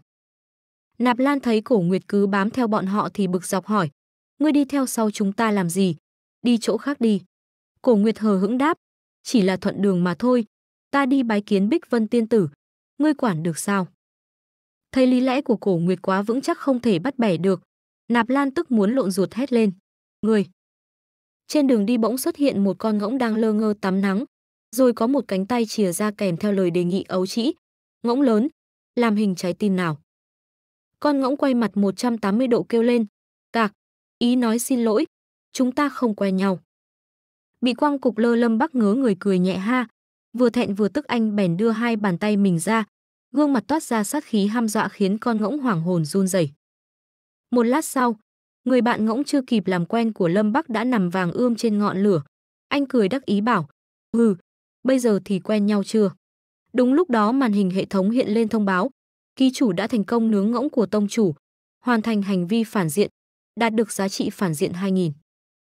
Lâm Bắc đứng trên mỏm núi, vừa ăn đùi ngỗng vừa lặng lẽ theo dõi bên dưới Thanh Vân Tông, thấy nhiều bóng đen lý nhí di chuyển liền buột miệng cảm thán, "Hửm, đông người lên Tử Tiêu Phong quá." Anh xoa cằm rồi lầm nhầm nói, tính toán thời gian, cũng đến lúc rồi, thật hoài niệm. Chuyển cảnh đến quảng trường Tử Tiêu Phong, Lâm Bắc đi dạo bên trên nhìn thấy người đông như kiến cỏ bên dưới thì bồi hồi nói, lại đến đại hội thu nhận đồ đệ 10 năm một lần rồi. Không biết năm nay sẽ có bao nhiêu người trở thành sư đệ, sư muội của ta. Lâm Bắc đang cao hứng đánh giá thì hệ thống lại thông báo, kiểm tra được thiên mệnh chi tử. Ngay lập tức vẻ mặt của Lâm Bắc chuyển sang hoang mang tự hỏi, thiên mệnh chi tử, lẽ nào là tiêu miểu, tên mặt dày đó chuẩn bị che giấu thân phận, sau đó gia nhập vào Thanh Vân Tông vụng trộm sao? Cùng lúc đó ở một chỗ khác của quảng trường, có ai đó đang ngầm đánh giá các nữ thí sinh ứng tuyển thông qua chỉ số hoa thơm cỏ lạ. Đam Đam, giá trị hoa thơm cỏ lạ 70. Trinh Trinh, giá trị hoa thơm cỏ lạ 75. Côn Côn, giá trị hoa thơm cỏ lạ 80. Trên tấm lệnh bài, có một mặt phản chiếu như gương soi là hình ảnh hai cô nương xinh đẹp gợi cảm. Tiểu Phương, giá trị hoa thơm cỏ lạ 73. Tiểu Phượng, giá trị hoa thơm cỏ lạ 71. Thì ra là một tên lưu manh biến thái đang âm thầm kiểm tra các cô gái ở Thanh Vân Tông. Hắn vừa thẻ lưỡi liếm mỹ nhân trong tấm lệnh bài vừa thích thú nói với chính mình. Không hổ là tông môn tu tiên, chỉ là đại hội nhận đồ đệ thôi mà có nhiều mỹ nữ có giá trị hoa thơm cỏ lạ vượt quá 70 rồi. Hoàn toàn không giống với trong thôn ta. Hắn vừa nói tới đó thì hình ảnh của các cô gái trong quá khứ liền hiện ra ám ảnh hắn. Hàn Tông, Hàn Tông ca ca. Nhớ tới lời kêu gọi vồ vập của bọn họ, tự nhiên hắn quay mặt nôn ẹ đủ bảy sắc cầu vồng, rồi lẩm nhẩm gạt phất đi, mau chóng cút ra khỏi đầu ta. Sau đó hắn đưa tấm lệnh bài cọ vào vai áo khẽ hỏi, "Thư tiên, thư tiên, nếu như mình ôm được hết mỹ nữ của toàn bộ Thanh Vân Tông, thì cảnh giới có thể tăng đến mức độ nào?" Nhìn thấy câu trả lời hiển hiện trên tấm lệnh bài hắn ngạc nhiên hỏi lại, "Ngươi nói là hợp thể kỳ sao?" Ở Cửu Châu đại lục, tu tiên phân làm 8 cảnh giới, luyện khí kỳ là bước đầu nắm được linh lực, trúc cơ kỳ có thể ngự kiếm phi hành, kim đan kỳ có thể độn quang phi hành, nguyên anh kỳ có thể nguyên anh xuất khiếu, hóa thần kỳ, nguyên anh hóa nguyên thần, hợp thể kỳ, nguyên thần và thân xác hợp lại làm một, trở lại nguyên trạng. Độ kiếp kỳ và đại thừa kỳ, hắn cất tấm lệnh bài vào trong ngực áo rồi lầm nhầm một mình, toàn bộ Cửu Châu đại lục. Chỉ có siêu cấp tông môn mới có hợp thể kỳ, vậy há chẳng phải là mình biến hết toàn bộ mỹ nữ của Thanh Vân Tông thành nữ nhân của mình. Mình có thể muốn làm gì làm sao, nghĩ tới đây hắn thèm thuồng đến nỗi nước dãi chảy dài ở một bên khóe miệng, rồi khoái trá cười thầm như một tên điên. Thấy tên biến thái như người mất trí cứ ngồi một mình cười cười nói nói, muốn làm gì thì làm, hê hê hê, hai nam tử khác liền thắc mắc với nhau. Người này làm sao thế? Ngốc rồi à? Tên ngốc mà còn muốn tham gia đại hội nhận đồ đệ của Thanh Vân Tông, thật sự là mở mang tầm mắt. Lúc này Lâm Bắc cũng đã phát hiện ra hắn, anh âm thầm theo dõi hắn từ đằng xa. Sau đó anh chố mắt nói với chính mình, thì ra là xuất hiện thiên mệnh chi tử mới. Màn hình hệ thống liền hiện lên thông tin về tên biến thái, Hàn Tông, cảnh giới luyện khí kỳ, giới tính nam, lập trường hỗn độn, khí vận 3000, đặc tính, thiên mệnh chi tử. Chủ nhân hậu cung trong người có trí bảo, chơi bời lêu lồng, lưu manh, đánh giá, một tên lưu manh chơi bời lêu lồng, trong một lần rơi xuống vách núi may mắn sống sót. Còn có được trí bảo của quần phương lục, cua gái có thể trở nên mạnh hơn từ dưới vách núi. Đọc xong tiểu sử của hắn, Lâm Bắc liền chép miệng cảm thán, ba nghìn, thiên mệnh chi tử có khí vận thấp quá. Rồi anh vuốt cầm nhìn tên tiểu tử trước mắt mà cảm thấy vô cùng khó hiểu. có điều thật sự thiên đạo đã mù mắt rồi, loại lưu manh như này vậy mà có thể trở thành thiên mệnh chi tử. Đúng lúc đó hệ thống lại đưa ra nhiệm vụ mới cho Lâm Bắc. Lưu manh không đáng sợ, đáng sợ là lưu manh có thiên mệnh, để bảo vệ sự an toàn của các thiếu nữ trong tông môn. Xin ký chủ đoạt lấy quần phương lục trong tay của Hàn Tông, hoàn thành nhiệm vụ thưởng 80.000 giá trị phản diện, thất bại không có trừng phạt. Lâm Bắc tưởng mình nghe nhầm nên ngơ ngác hỏi lại, không có trừng phạt sao? Hệ thống vui vẻ xác nhận ngay. Không sai, cho dù nhiệm vụ này thất bại thì hệ thống cũng sẽ không có bất cứ trừng phạt nào cho thiếu chủ. Anh cáu kỉnh xé toạt màn hình hệ thống rồi cao giọng phán xét. Hừ, ta mới không thèm tin hệ thống cho má ngươi. Sau khi ném những mảnh vụn của màn hình sang một bên, Lâm Bắc quay người bước đi, đồng thời tỏ ý nghi ngờ bảo, chắc chắn là đang âm thầm bày mưu gì đó. Hàn Tông cầm tấm lệnh bài trên tay, đôi mắt cứ đảo tới đảo lui liên tục, hết nhìn ngang rồi lại ngó dọc tự hỏi, mỹ nữ có giá trị hoa thơm cỏ lạ trên 90 đã nói đang ở đâu nhỉ? Cho dù là những tiên tử Thanh Vân Tông xung quanh thì cao nhất cũng chỉ có giá trị hoa thơm cỏ lạ đạt 89.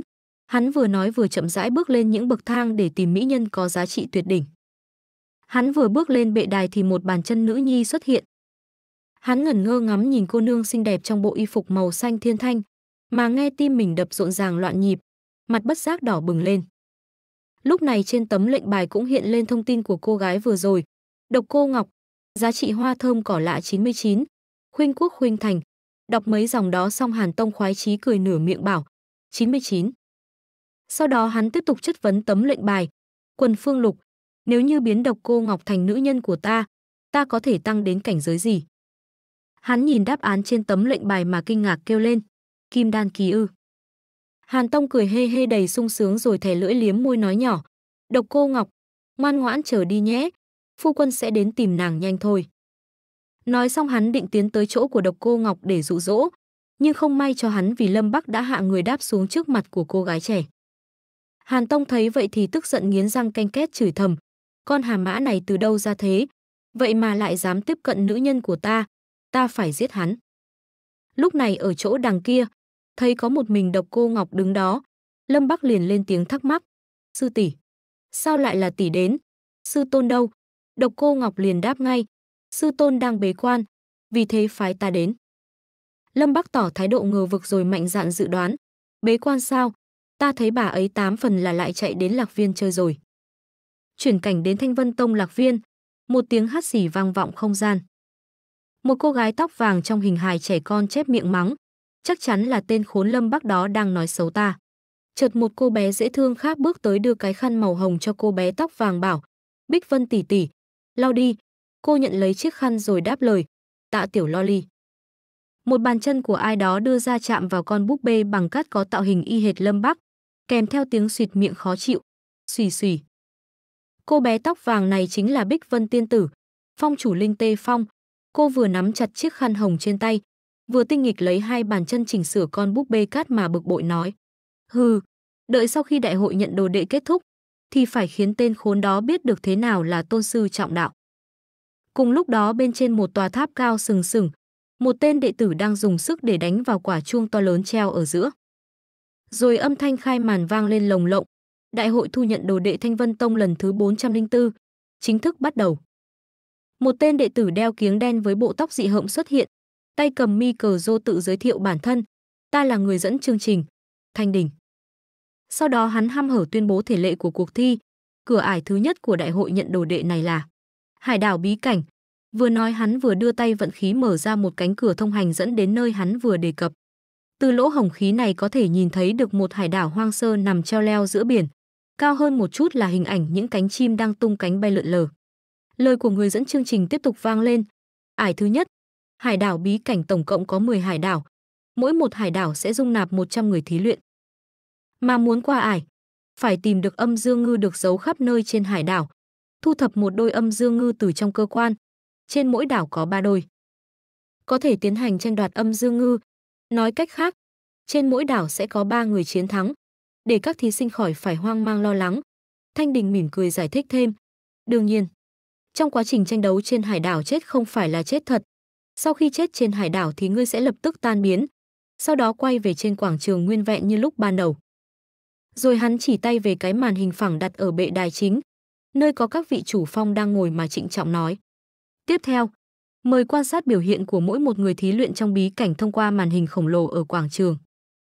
Lâm Bắc chăm mắt quan sát màn hình khẽ lẩm nhẩm trong miệng. Tuyển thủ tham dự thi đấu đều tiến vào rồi. Bình thường nói ải thứ nhất tất cả mọi người sẽ tranh đấu cực kỳ kịch liệt. Nhưng tên này, anh đang suy nghĩ mông lung thì màn hình chuyển đến khung cảnh ở một bờ biển vắng lặng với sự xuất hiện của ba bóng người nhỏ xíu. Trong hải đảo bí cảnh, Hàn Tông đang đứng đối mặt với một cặp nam nữ. Tên tóc bạch kim vẻ mặt giận dữ gồng nắm tay nói. Không biết tại sao, lúc đầu nhìn thấy ngươi, nơi sâu trong lòng ta đã trào dâng một dục vọng. Nó đốc thúc ta đánh chết ngươi. Không thể chần chừ thêm nữa anh ta gào lên. Đi chết đi.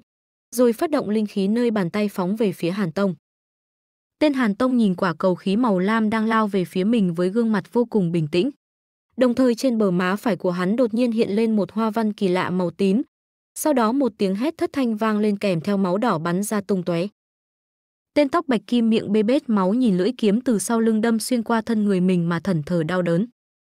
Anh ta vừa quay đầu nhìn cô gái phía sau vừa ngỡ ngàng nói, "Vân Âm, muội." Cô gái lạnh lùng rút thanh kiếm ra rồi đưa đôi mắt vô hồn cười ma quái nói, "Tình Lãng ca ca, ta không cho phép ngươi ra tay với Hàn Tông ca ca nhé." Sau đó cô ta tiến tới chỗ Hàn Tông đưa tay vuốt ve gương mặt hắn mà cười ngây ngốc hỏi, "Hàn Tông ca ca, ta có giỏi không?" Hắn cười khoái trá đáp lời, "Làm đẹp lắm bảo bối." Tiếp theo đó là cảnh các cô gái khác vây lấy Hàn Tông giống như người hâm mộ đeo bám thần tượng, cùng với những lời khen tặng bóng bẩy. Hàn Tông ca ca, dáng vẻ gặp nguy hiểm mà không hoảng loạn của ngươi thật ngầu. Hàn Tông ca ca ngầu nhất. Lâm Bắc nhìn thấy cảnh gai mắt trên màn hình, trong lòng chợt dâng lên sát khí khó tả. Tên nguy hiểm, có lẽ mình nên tìm cách giết tên này trong đại hội nhận đồ đệ. Đang hăng máu chợt Lâm Bắc cảm nhận có điều bất thường trong suy nghĩ. Anh thầm tự hỏi, không đúng, sao đột nhiên mình lại có sát ý với tên Hàn Tông này. Cũng cùng tâm trạng như Lâm Bắc, Tử Tiêu Phong Phong chủ và Thanh Vân Tông Tông chủ, Tử Tiêu chân nhân tỏ vẻ khó chịu cau mày nói, xem tiểu tử này, sao trong lòng ta đột nhiên trào dâng cảm giác nóng lòng. Ngọc Đỉnh Phong Phong chủ, Ngọc Hư chân nhân, cũng đồng quan điểm bảo, Tông chủ, ngươi cũng có cảm giác như thế à? Ta cũng thế, ở bên cạnh Phi Hạc Phong Phong chủ, Đan Hạc chân nhân, cũng vuốt râu đồng thuận, lão phu cũng. Trái với quan điểm của ba người kia, cô gái trong bộ y phục xanh lá, Thanh Liên Phong phong chủ, Thương Liên tiên tử mỉm cười hài lòng bảo: "Ta lại cảm thấy tiểu tử này rất vừa mắt, ta hơi muốn đưa hắn vào Thanh Liên Phong, đáng tiếc Thanh Liên Phong không chiêu mộ nam đệ tử." Nữ nhân độc cô Ngọc thì nghiêng ý kiến về phía Thương Liên tiên tử, phát biểu với vẻ ngập ngừng: "Ta cũng có cảm giác giống thế, nhưng ta cảm thấy hơi không đúng lắm." Những lời nhận xét của các vị phong chủ ngay lập tức đặt dấu chấm hỏi trong lòng của Lâm Bắc. Anh quan sát kỹ tên Hàn Tông rồi băn khoăn tự hỏi. Ngay cả tông chủ bọn họ cũng có cảm giác này. Có điều hoa văn trên mặt hắn hình như không xuất hiện ở tập trước. Lẽ nào đó là năng lực mới mà hắn có được? Để giải đáp hoài nghi trong lòng mình Lâm Bắc quyết định triệu hồi bảng hệ thống phản diện. Hệ thống, ta phải cập nhật thông tin về Hàn Tông. Nhận lệnh màn hình liền hiện ra thông báo. Giá trị phản diện trừ 5.000, đã cập nhật thông tin về Hàn Tông. Hàn Tông, cảnh giới luyện khí kỳ, giới tính nam, lập trường hỗn độn, khí vận 4000, đặc tính, thiên mệnh chi tử, chủ nhân hậu cung. Trong người có trí bảo, chơi bời lêu lồng, lưu manh, ma tính chi mạo, đánh giá, một tên lưu manh chơi bời lêu lổng, nữ nhân gặp đều thích, nam nhân gặp thì đều cam hận. Trong một lần rơi xuống vách núi không chết, còn có được trí bảo của quần phương lục cua gái thì có thể trở nên mạnh hơn từ dưới vách núi. Sau khi điểm lại thông tin cập nhật từ hệ thống, Lâm Bắc liền nhận ra sự thay đổi mà thầm đánh giá. Quả nhiên là có năng lực mới, ma tính chi mạo. Hơn nữa khí vận của hắn tăng lên một nghìn rồi. Tiếng cười hà hê của Hàn Tông vọng ra từ màn hình. Hắn vừa quàng vai một cô em xinh đẹp vừa thè lưỡi cười khoái trá nghĩ. Hê hê, lại cua xong một em nữa. Cô gái nhận được sự sủng ái của hắn thì nũng nịu nói. Hàn Tông ca ca, ngươi thật xấu. Hắn nhớ tới thuộc tính của ma tính chi mạo, dung mạo bị trời nguyền rủa, nữ nhân nhìn thấy khuôn mặt này sẽ có thiện cảm. Nam nhân sẽ cực kỳ ghét, thì cười khoan khoái nghĩ, chỉ cần có năng lực này, thì mình sẽ có thể nhanh chóng trả hết nợ mà quần phương lục nợ khi mua ma tính chi mạo. Hơn nữa mình còn có thể lợi dụng sức mạnh này để có được toàn bộ nữ nhân Thanh Vân Tông, thống trị Thanh Vân Tông. Bên trong hải đảo bí cảnh, một bàn tay run rẩy kèm theo tiếng gọi tuyệt vọng yếu ớt. Sóc Nguyệt, một nam nhân mặc y phục trắng bị thương nặng đang nằm sấp trên mặt đất. Đôi mắt ngấn lệ đưa bàn tay đẫm máu run run về phía trước. Giọng nói đứt quãng nghẹn ngào. Tại sao? Tại sao lại phản bội ta? Không phải chúng ta đã hẹn phải cùng đi đến cuối cùng sao? Sau một hồi gắng gượng bàn tay anh ta cũng nắm được cổ chân của một người. Nữ nhân bị anh nắm chân quay đầu nhìn xuống tối mặt giận dữ. Tên này. Sao ngươi dám chạm vào ta bằng cái tay bẩn thỉu đó? Nói xong mấy lời đó, cô ta liền nhấc thanh kiếm trong tay mình vung lên cao. Thấy bạn tình đang chuẩn bị xuống tay với mình, anh ta ứa nước mắt đau khổ nhưng cũng đành buông xuôi. Cô ta vừa hét lên. Ta giết chết ngươi. Vừa thẳng tay vung kiếm chém vào người của nam nhân áo trắng. Màn máu bắn ra kèm theo thanh âm đau đớn tột cùng. Nhìn xác nam nhân biến mất, cô gái tên Sóc Nguyệt bần thần nói. Tan biến rồi. Sau đó cô ta ngồi xuống đất. Nhìn cổ chân còn dính vết máu nói tiếp. Còn có cái này. Cái chân này bị nam nhân khác sờ rồi. Nó bẩn rồi. Phải bỏ nó. Cô ta nắm chặt thanh kiếm trong tay đưa lên cao. Cười ngờ nghịch rồi dứt khoát chém xuống chân mình. Ở xung quanh các nữ nhân khác cũng bu vào cổ suý cho hành động điên loạn đó. Nó bẩn thỉu. Chặt nó. Chặt nó. Chặt nó. Nó không xứng với Hàn Tông ca ca. Hàn Tông nhìn cái cảnh quá lố này thì sám mặt sợ hãi đưa tay ra ngăn cản. Thực ra, cũng không cần phải làm đến mức này đâu. Thấy hắn lên tiếng bênh vực cho Sóc Nguyệt, các cô nương khác liền la ó phản bác. Không được, phải chặt nó. Chủ nhân của nó cũng phải giết chết. Không sai, giết chết, nên phải giết chết nữ nhân đã bị nhiễm bẩn này. Lâm Bắc nhìn cảnh tượng man dợ trong màn hình tựa hồ hiểu ra ẩn ý của hệ thống, trả trách nhiệm vụ thất bại cũng không có trừng phạt. Anh toát mồ hôi hột lo lắng nghĩ thầm, nếu như không hủy quần phương lục, vậy thì đừng nói đến những người thí luyện nữ trên hải đảo hiện tại e là ngay cả sư muội, sư tỷ, thậm chí là sư tôn đều sẽ trở thành dáng vẻ quỷ quái mất lý trí như này. Chuyển cảnh đến Thanh Vân Tông Lạc Viên, hai cô nhóc lúc này vẫn còn đang mải mê đắm mình với trò đắp cát. Bích Vân Tiên Tử cẩn thận cắm nốt chiếc cờ tượng trưng cho cô và tiểu lo ly xuống. Nhìn tác phẩm kỳ công của mình đang sừng sững trước mắt, Bích Vân Tiên Tử hạnh phúc nói, tốn nhiều công sức như thế, cuối cùng cũng đắp xong nhưng niềm vui sướng chưa tận hưởng được lâu thì từ trong không trung có vật gì đó đen thui đáp ngay chốc vào tác phẩm của cô, kèm theo thanh âm thẳng thốt. Hay rồi. Bóng đen cua hai tay xua đi lớp bụi trắng gấp gáp thông báo. Sư tôn, có chuyện cấp bách. Lúc này màn hình hệ thống chợt hiện lên thông báo. Giá trị phản diện cộng 100. Lâm Bắc ngơ ngác kêu lên hả. Anh còn chưa hiểu tại sao mình được hệ thống tặng điểm thì đã bắt gặp gương mặt tối sầm của Bích Vân Tiên Tử, ở bên cạnh tiểu Loli đang ho khụ khụ vì bị cắt đất bay vào mặt mũi. Bích Vân tiên tử như một đấu sĩ vừa thả một cú nốc ao cho đối thủ. Cô nhóc dùng hai chân móc qua ngực Lâm Bắc, rồi dùng hai tay bẻ cánh tay anh, tức giận mắng xối xả. Nghiệt đồ, ngươi đáp xuống không nhìn sao hả? Lại phá hỏng lâu đài cát mà ta vất vả đắp. Bị đánh sấp mặt Lâm Bắc đau đớn kêu gào. Sư tôn, sắp gãy tay rồi. Tiểu Loli đang dùng tay ấn búi tóc cho bụi cát rớt ra, chứng kiến màn tập kích bạo lực của phong chủ linh tê phong thì lo sợ nói. Bích vân tỷ tỷ tiểu lâm bắc hình như sắp chết rồi. Thấy có người nói đỡ. Lâm bắc vội vàng cầu cạnh. Tiểu lo ly cứu ta. Lâm bắc cố gắng lấy tay gỡ cẳng chân đang lèn chặt cổ mình ra nhưng không được. Mặt mày dần tím tái miệng há hốc như sắp đi chầu ông bà đến nơi thấy anh sắp tắt thở bích vân tiên tử mới thả lỏng tay mình ra mà hạ giọng bảo hừ nể mặt tiểu lo ly lần này tha cho người Nói xong cô đứng lên khỏi người Lâm Bắc, buông thõng hai tay lơ đễnh nhìn đi chỗ khác như không có chuyện gì xảy ra. Nhờ vậy anh mới có thể hô hấp bình thường trở lại. Thở phào nhẹ nhõm nghĩ, giải thoát rồi. Một hồi lâu thấy Lâm Bắc vẫn nằm đó chưa chịu ngồi dậy. Tưởng anh ăn vạ Bích Vân Tiên Tử lại điên tiết đấm đá túi bụi vào người anh, đồng thời quát lớn, về đi. Sau khi đánh đấm hạ hỏa xong, Bích Vân Tiên Tử đứng chống nạnh nghiêm mặt hỏi, nói đi, có chuyện gì? Lâm Bắc mặt mày xây sát nằm nhắm mắt dưới đất, hai tay để lên bụng trông vô cùng thanh thản mà bình tĩnh thuật lại. Đại hội thu nạp đồ đệ. Hắn trà trộn vào một vạn đồ đệ đó, năng lực hắn rất phi thường cổ quái, chuẩn bị khiến toàn bộ nữ nhi ở Thanh Vân Tông trở thành hậu cung của hắn. Nghe cái tin chấn động đó, Bích Vân Tiên tử lại một lần nữa nổi cơn tam bành, chút hết phẫn nộ lên người Lâm Bắc. Đồng thời la hét ầm ĩ, nói cái gì cơ, lại có tên nhóc dám cố ý đánh đệ tử của ta sao? ta muốn đập nát hắn rồi cho heo ăn. Lâm Bắc bị cô nhóc quần cho tả tơi bầm dập khổ sở kêu than. Sư tôn, hay là người cho con một niềm vui đi. Anh còn chưa kịp định thần thì Bích Vân Tiên Tử đã nắm lấy tay anh lôi tuột đi. Đi nào, chúng ta đến Tử Tiêu Phong.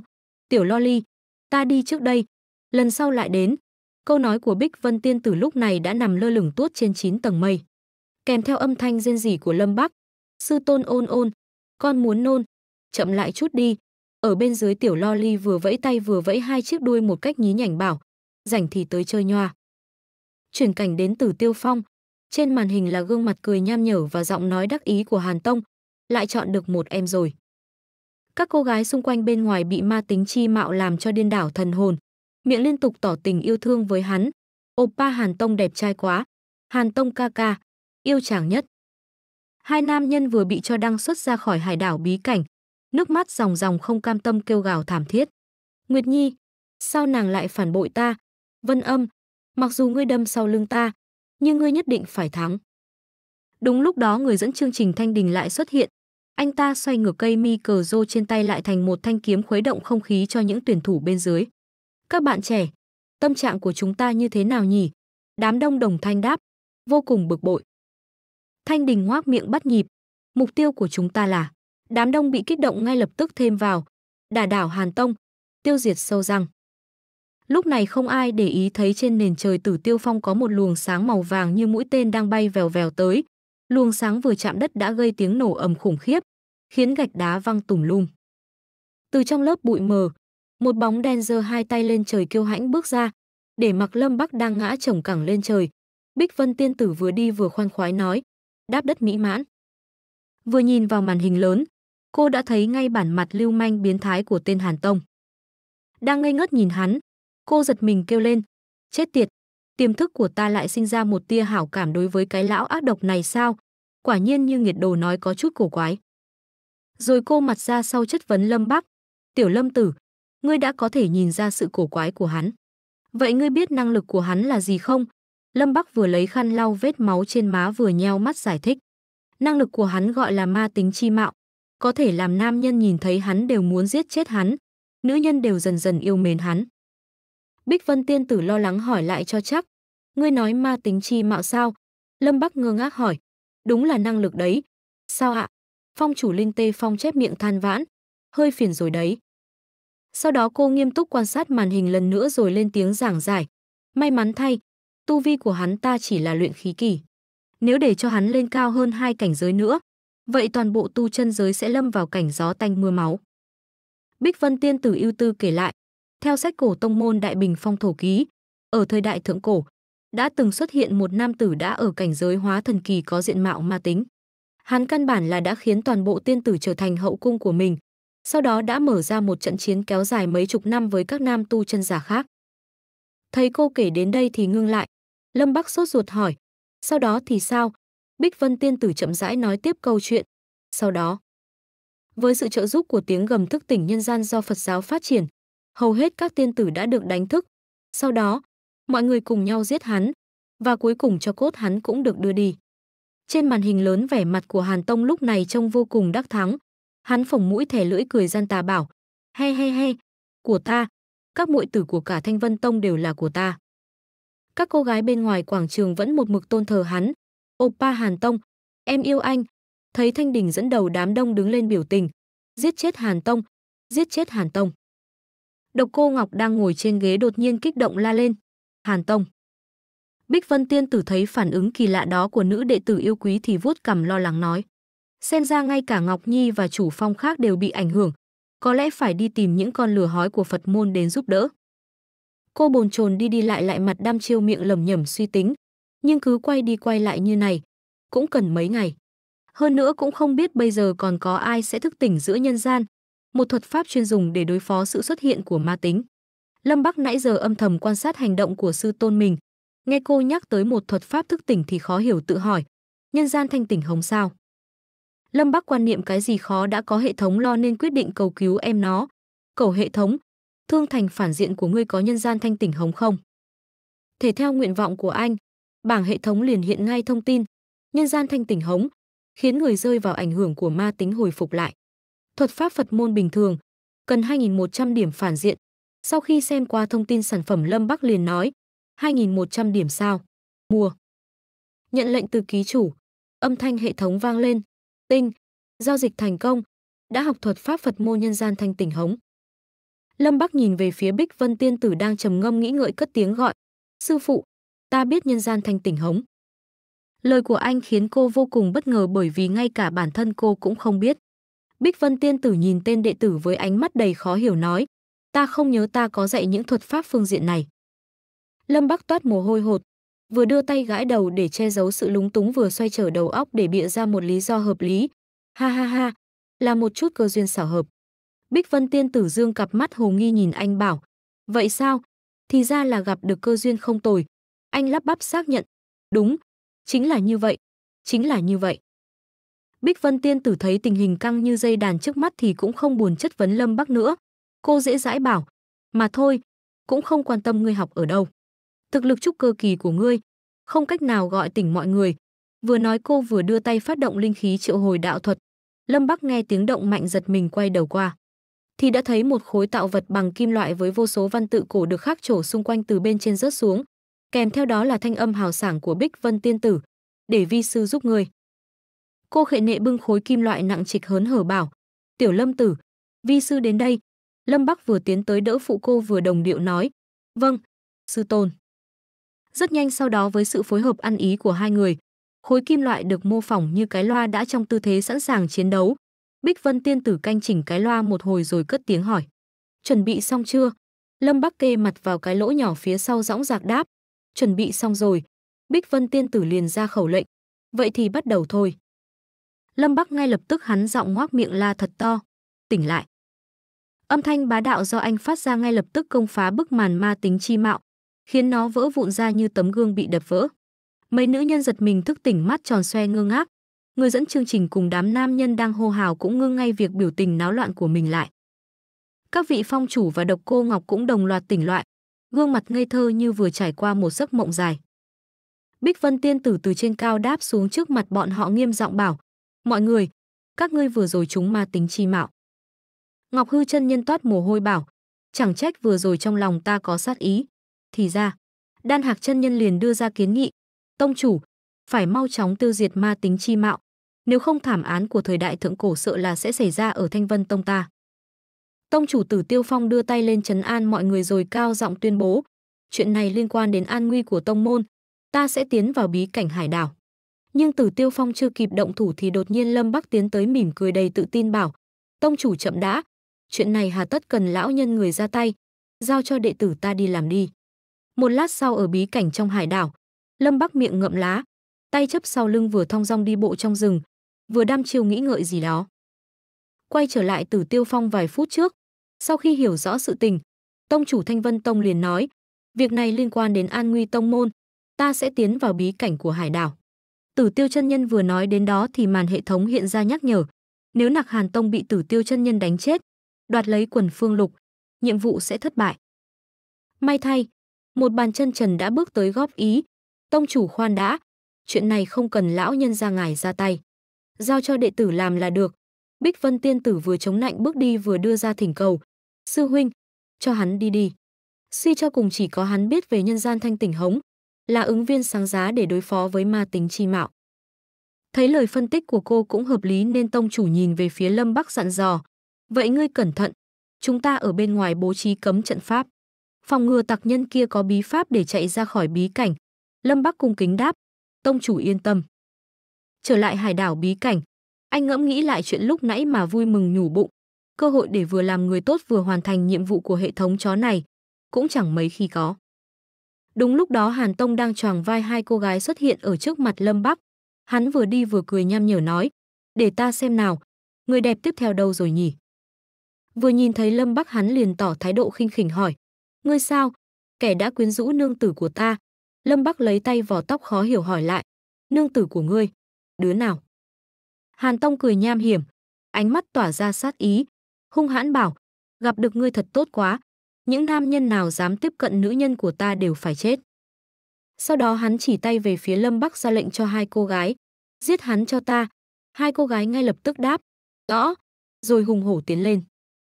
Lâm Bắc không nói gì khẽ hít một hơi thật sâu, rồi anh hét lớn vào mặt hai cô gái. Nhân gian thanh tỉnh hống. Từ khoang miệng của anh phát ra một luồng linh khí màu vàng đánh bật hai cô gái văng ra. Cô gái áo tím té bật ngửa ra, chống cù trỏ xuống đất mặt nhăn nhó. Sau đó cô ta lấy tay xoa đầu khẽ rên rỉ. Đau đầu quá. Chuyện gì vậy?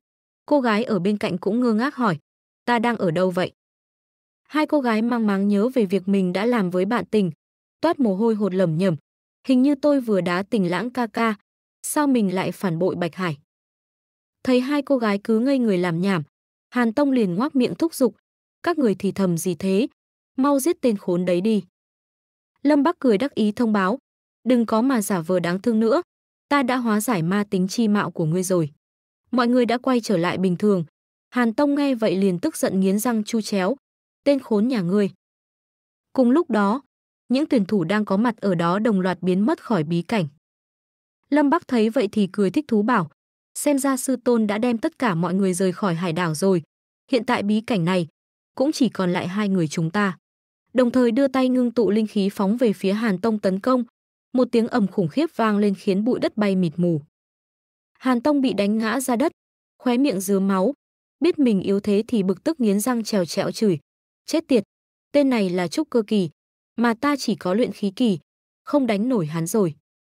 Trong tình thế hiểm nghèo tưởng sắp chết đến nơi thì hệ thống quần phương lục hiện ra hỏi, Hàn Tông, cần thêm sức mạnh không? Hắn nghe vậy thì mừng như bắt được vàng đáp. Thư tiên, người đúng là cơn mưa rào đúng lúc, nhanh cho tôi sức mạnh đi, chờ tôi giết chết tên này sau đó tôi sẽ bắt thêm nhiều nữ nhân hơn, kiếm được càng nhiều điểm quần phương. Hệ thống ma quái đó liền xác nhận được, rồi truyền linh lực vào cơ thể hắn, đồng thời đưa ra bảng cập nhật điểm. Khấu trừ 2.000 điểm quần phương, cảnh giới nâng lên tới đỉnh cao trúc cơ, hiện tại quần phương điểm còn lại âm 10.000. Hàn Tông cảm nhận được luồng linh lực dồi dào đang chảy trong từng tế bào của mình thì sung sức kêu lên. Hư a à. Lâm Bắc nhận ra sự biến đổi đột ngột của đối thủ thì ngạc nhiên tự hỏi. Ừ, đây là...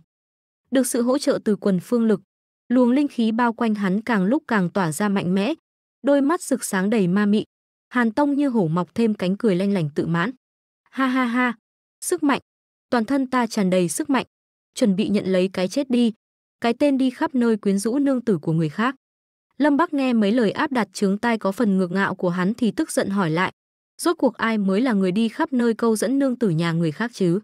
Hàn Tông vừa đưa hai tay ra phía trước hội tụ linh khí tạo thành một quả cầu khí màu tím vừa cười khà khà ham dọa. Lần này ngươi chết chắc rồi. Nhân danh Hàn Tông, chết dưới sức mạnh của ta đi. Dứt lời hắn trưởng quả cầu khí về phía Lâm Bắc nhưng anh né người qua một bên tránh được dễ dàng. Đã vậy còn hỏi châu ngươi hắn. Thế thôi sao? Phía sau anh khói bụi bay mịt mờ do hậu quả của cú trưởng để lại.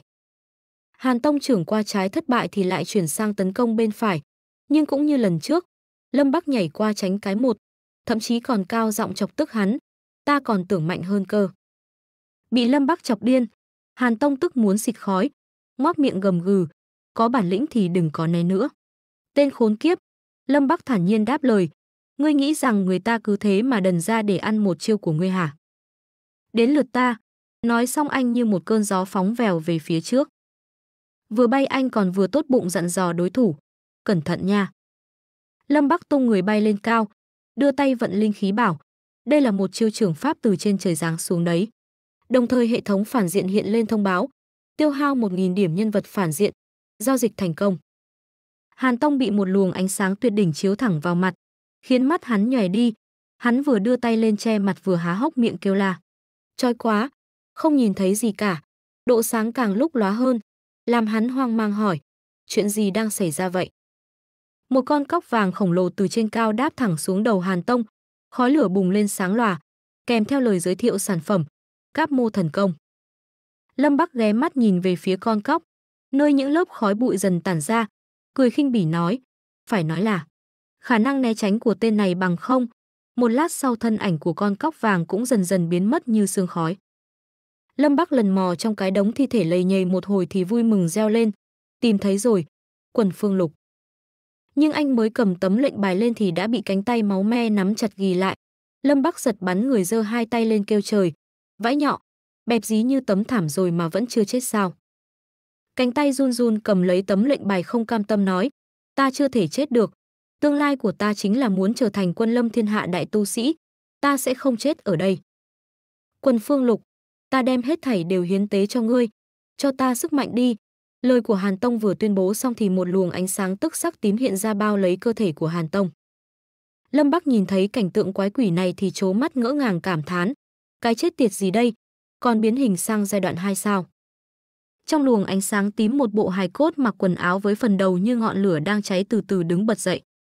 Hàn Tông lắc lư cái đầu lâu có mắt mũi miệng sáng rực thở hồn hển nói, quần phương lục, hồng phấn khô lâu. Cùng lúc đó, trong pháp vận cấm cố, nhìn thấy một viên châu màu vàng nằm ở phần đan điền của bộ hài cốt, tử tiêu chân nhân lo lắng kêu lên, kim đan ư, tiêu rồi, lâm bắc gặp nguy rồi. Đứng bên cạnh, Bích Vân tiên tử lên tiếng chấn an, sư huynh không cần lo lắng. Cô nhìn về phía quả cầu nói với vẻ đầy tin tưởng, tiểu lâm tử rất thông minh, tôi tin hắn còn có cách khác. Mặc dù cô đã nói vậy nhưng Ngọc Hư chân nhân vẫn không yên tâm cẩn thận nhắc nhở. Kể cả như thế, chúng ta cũng nên chuẩn bị can thiệp bất cứ lúc nào.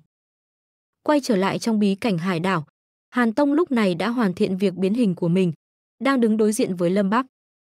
Hắn nhìn anh cười đắc thắng bảo, ha ha ha, bây giờ ta đã là kim đan kỳ, ngươi không thắng nổi ta đâu. Mặt Lâm Bắc vẫn điềm tĩnh không chút lo sợ. Anh khẽ nhếch môi cười hỏi, ồ, thế sao? Hàn Tông vừa đưa tay vận khí vừa cười sằng sặc lớn lối bảo, chết tới nơi rồi còn mạnh miệng, xem kim đan thần thông của ta giết ngươi thế nào đi. Hàn Tông vẫn tiếp tục ngạo mạn khoe mẻ, xem kim đan thần thông của ta diệt ngươi đây, kim đan thần thông. Nhưng mặc cho hắn la ó hay vận khí giơ tay làm đủ thứ hùng bà lằng, mọi thứ trước mặt vẫn yên ắng không có chuyện gì xảy ra. Lâm Bắc đứng nghịch mặt nhìn hắn như đang coi tên điên làm trò hề. Không bỏ cuộc, Hàn Tông đưa tay trưởng về phía trước, miệng hét lớn, kim đan thần thông. Giống như lần trước, vẫn không có chuyện gì xảy ra. Lâm Bắc chẳng những không chút sợ hãi, mà còn lấy tay che miệng cười mắng. Ha, đồ ngốc. Anh đưa tay chỉ về phía viên châu đang nằm ở đan điền của hắn rồi mỉm cười phổ cập kiến thức. Sau chúc cơ kỳ đỉnh phong, thì có thể cố gắng nén linh lực lỏng trong đan điền của mình. Trong quá trình nén này, chủ nhân của linh lực sẽ lần lượt để lại dấu vết của mình trên bề mặt kim đan. Sau khi thành công thăng đến kim đan kỳ, dấu vết trên bề mặt của kim đan sẽ tạo thành một bức tranh huyễn hoặc khó hiểu. Bức tranh này ẩn chứa thần thông, mà thần thông này chính là kim đan thần thông.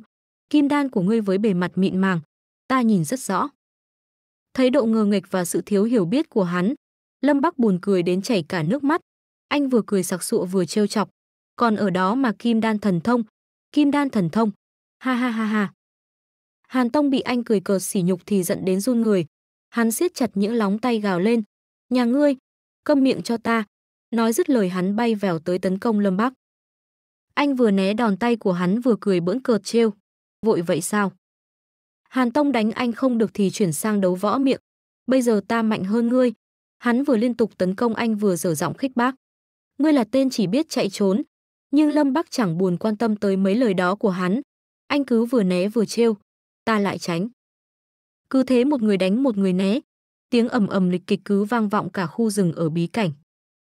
Lúc này ở pháp trận cấm cố, Thương Liên tiên tử xòe mấy lá bài trên tay mình ra rồi chủ động nói, ta là địa chủ, ta ra trước, ba mang một, ba cây bảy mang ba. Bởi vì xem chán chê cái màn rượt đuổi vô nghĩa trong bí cảnh nên mấy chủ phong ngồi trụng đầu ở chiếc bàn lớn chính giữa trận pháp chơi bài. Ngọc Hư chân nhân xem bài xong bảo. Lớn rồi, ba cây chín mang bảy. Bích Vân tiên tử từ chối ra bài. Không muốn. Đan Hạc chân nhân tiếp bài. Lớn hơn ngươi. R cây quy.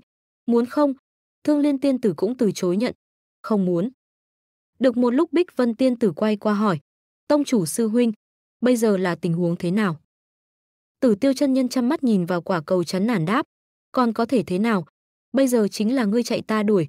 Đang nói tới đó chợt hắn khựng lại kêu lên. Đợi đã, hình như có thay đổi. Họ dừng lại rồi. Nghe tông chủ nói vậy, Bích Vân tiên tử liền ghé mắt nhìn sang, rồi tròn mắt ổ lên một tiếng. Quay trở lại hải đảo bí cảnh, Hàn Tông đang đứng đặt tay lên thân cây gãy làm đôi mà thở hồng hộc.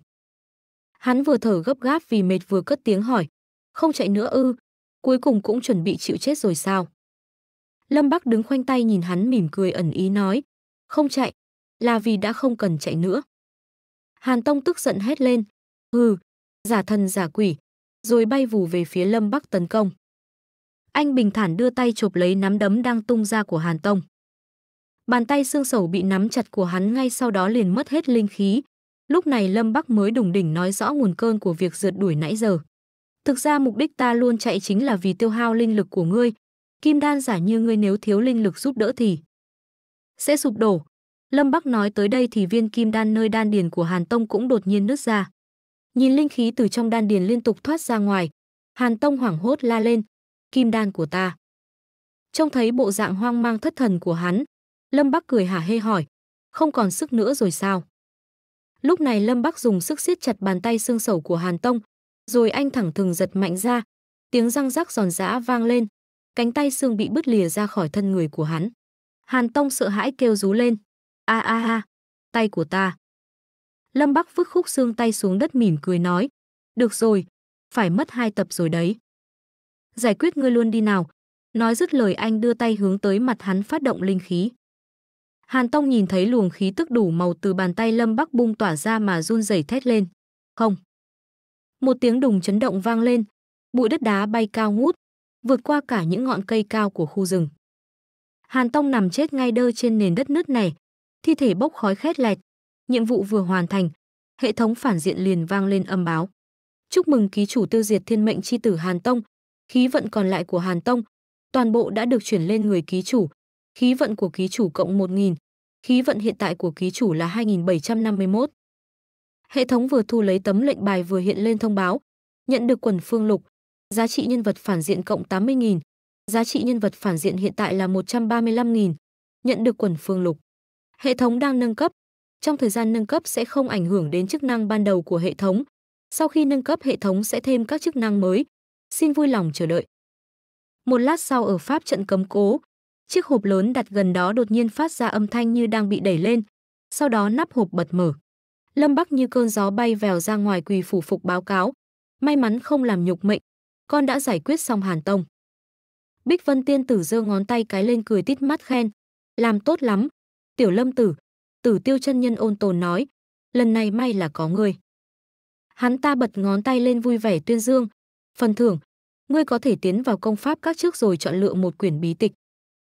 Lâm Bắc chấp hai tay đáp, vậy xin đa tạ tông chủ, còn trong lòng thì sướng mê tơi gieo hò, lại có chuyện tốt thế sao? Trước thì nói là phải kim đan kỳ mới được vào mà. Sau biến cố không mong muốn đó, để loại bỏ những ảnh hưởng xấu mà Hàn Tông đã mang lại, Thanh Vân Tông một lần nữa tổ chức đại hội thu nhận đồ đệ. Kết quả cuối cùng có 20 người thông qua toàn bộ khảo thí của tông môn, thành công gia nhập Thanh Vân Tông. Chuyển cảnh đến hai ngày sau ở công pháp các, Lâm Bắc đưa tay chống cằm khẽ e hèm một cái rồi tiến vào bên trong. Anh bước đến một cái kệ chứa đầy sách, ở phía trước nó có tấm bảng đề dòng chữ, công pháp, khu vực rèn thể. Anh nhẩm đọc rồi chép miệng nói, có sư tôn rồi chắc cũng không thiếu đâu. Qua. Chuyển tới một kệ sách khác, nơi có tấm bảng ghi, đan pháp, khu vực khí pháp. Lâm Bắc cũng từ chối bước vào vì anh cho rằng, có hệ thống, cũng chẳng thiếu. Qua. Một lát sau Lâm Bắc tiến đến một cái kệ có để tấm bảng, khu vực trận pháp, thằng ngu không được đi vào. Nhìn thấy bút tích cùng ngữ khí quái đản kia, anh thầm đánh giá trong lòng, tấm bảng này là do sư tôn viết phải không? Cũng chỉ có cô ấy mới làm trò này thôi. Bỏ qua kệ sách đó Lâm Bắc bước tiếp đến một khu vực khác, chợt anh khựng lại nhìn đăm đăm về một cái gì đó. Nhìn thấy dòng chữ bảng môn tả đạo dán trên miếng gỗ, Lâm Bắc khó hiểu tự hỏi, cái gì đây? Chuyển cảnh đến một khắc sau, Lâm Bắc đang ngồi xếp bằng trước một cánh cửa phòng đóng kín, mặt quay hẳn vào trong, không biết anh nhìn thấy gì mà máu mũi chảy ròng ròng, đã vậy còn cười run người hề hề. Một giọt máu đỏ tươi rơi tỏng lên sàn nhà, Lâm Bắc cắm mắt vào quyển sách trên tay, mũi vẫn không ngừng chảy máu, mặt mày đỏ lưỡng đỏ lơ, chép miệng cảm thán, không ngờ tu tiên giả biết chơi vậy. Sau khi xem chán chê anh đóng quyển sách lại nói, chẳng qua những quyển sách này hình như không đứng đắn lắm. Nhớ lại mấy quyển sách phòng the mà mình vừa xem, Lâm Bắc vừa lấy khăn lau máu mũi vừa tiếc hùi hụi lẩm nhẩm, nếu mang những sách này ra ngoài, chắc chắn sẽ bị sư phụ đánh chết. Rồi anh đứng dậy xoa xoa hai bàn tay vào nhau tiến về một khu vực chứa sách khác. Vậy thì còn có thứ gì tốt đây? Để mình xem xem. Thoát một cái mặt trời đã ngả bóng về chiều, tỏa ra thứ ánh nắng hoàng hôn dịu dàng dễ chịu. Sau một thời gian dài lục tìm mớ sách trong công pháp các, Lâm Bắc mệt mỏi nằm xả lai ra nền đất. Anh chán nản nghĩ, đống sách này ngoặt trừ không thể vượt qua kiểm duyệt, chính là không thể vượt qua kiểm duyệt. Anh ngồi bật dậy bắt đầu ca thán, hoàn toàn không có thu hoạch phí cả một ngày. Đột nhiên anh có cảm giác ngứa ra nơi đầu ngón tay trỏ, nên giơ bàn tay lên nhìn. Đến khi quan sát kỹ lại, anh mới phát hiện có một vết cắt nhỏ đã khô máu, rồi băn khoăn nói, ấy, từ lúc nào? Chợt mắt anh sáng lên khi trông thấy cái gì đó. Lâm Bắc cầm một vật bằng kim loại lên ngơ ngác tự hỏi, tại sao trong đống sách lại có một thanh tiểu kiếm thanh đồng quỷ dị này? Anh vừa nói tới đó thì thanh kiếm nhỏ trên lòng bàn tay anh đột nhiên phát sáng. Sau đó nó bắt đầu tỏa ra những luồng khí tức kim sắc mạnh mẽ bay ngược lên trên, khiến Lâm Bắc ngớ người thốt lên. Đây là...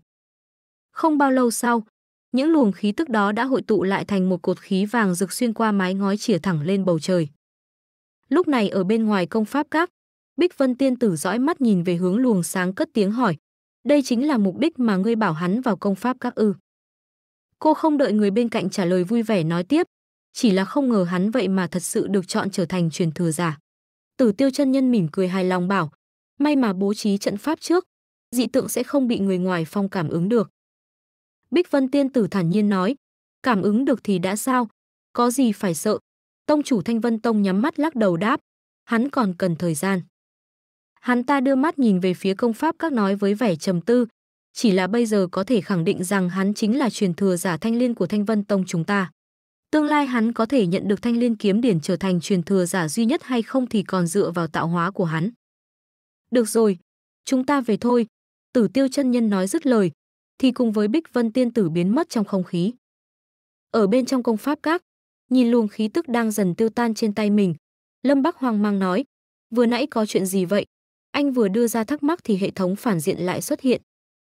Trên màn hình là thông tin chi tiết về đồ vật mà anh vừa phát hiện được. Tên, Thiên Chi Bỉ Ngạn. Công năng, một trong 9 chiếc chìa khóa để mở ra bí cảnh Thanh Liên Kiếm Tiên và Thanh Liên Kiếm Điển.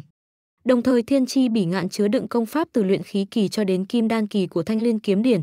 Bổ sung, đây là cơ duyên kinh thiên thuộc về Thiên Chi kiêu tử nào đó. Sau khi tiếp thu thêm mớ kiến thức mới, Lâm Bắc càng thấy đầu óc mình thêm rối loạn mịt mờ. Lơ ngơ nói, mặc dù không hiểu nhưng cảm giác vô tình có được thứ đồ rất đỉnh. Anh khó hiểu hỏi tiếp, ý là mình có chìa khóa có thể mở được bí cảnh thanh liên sao?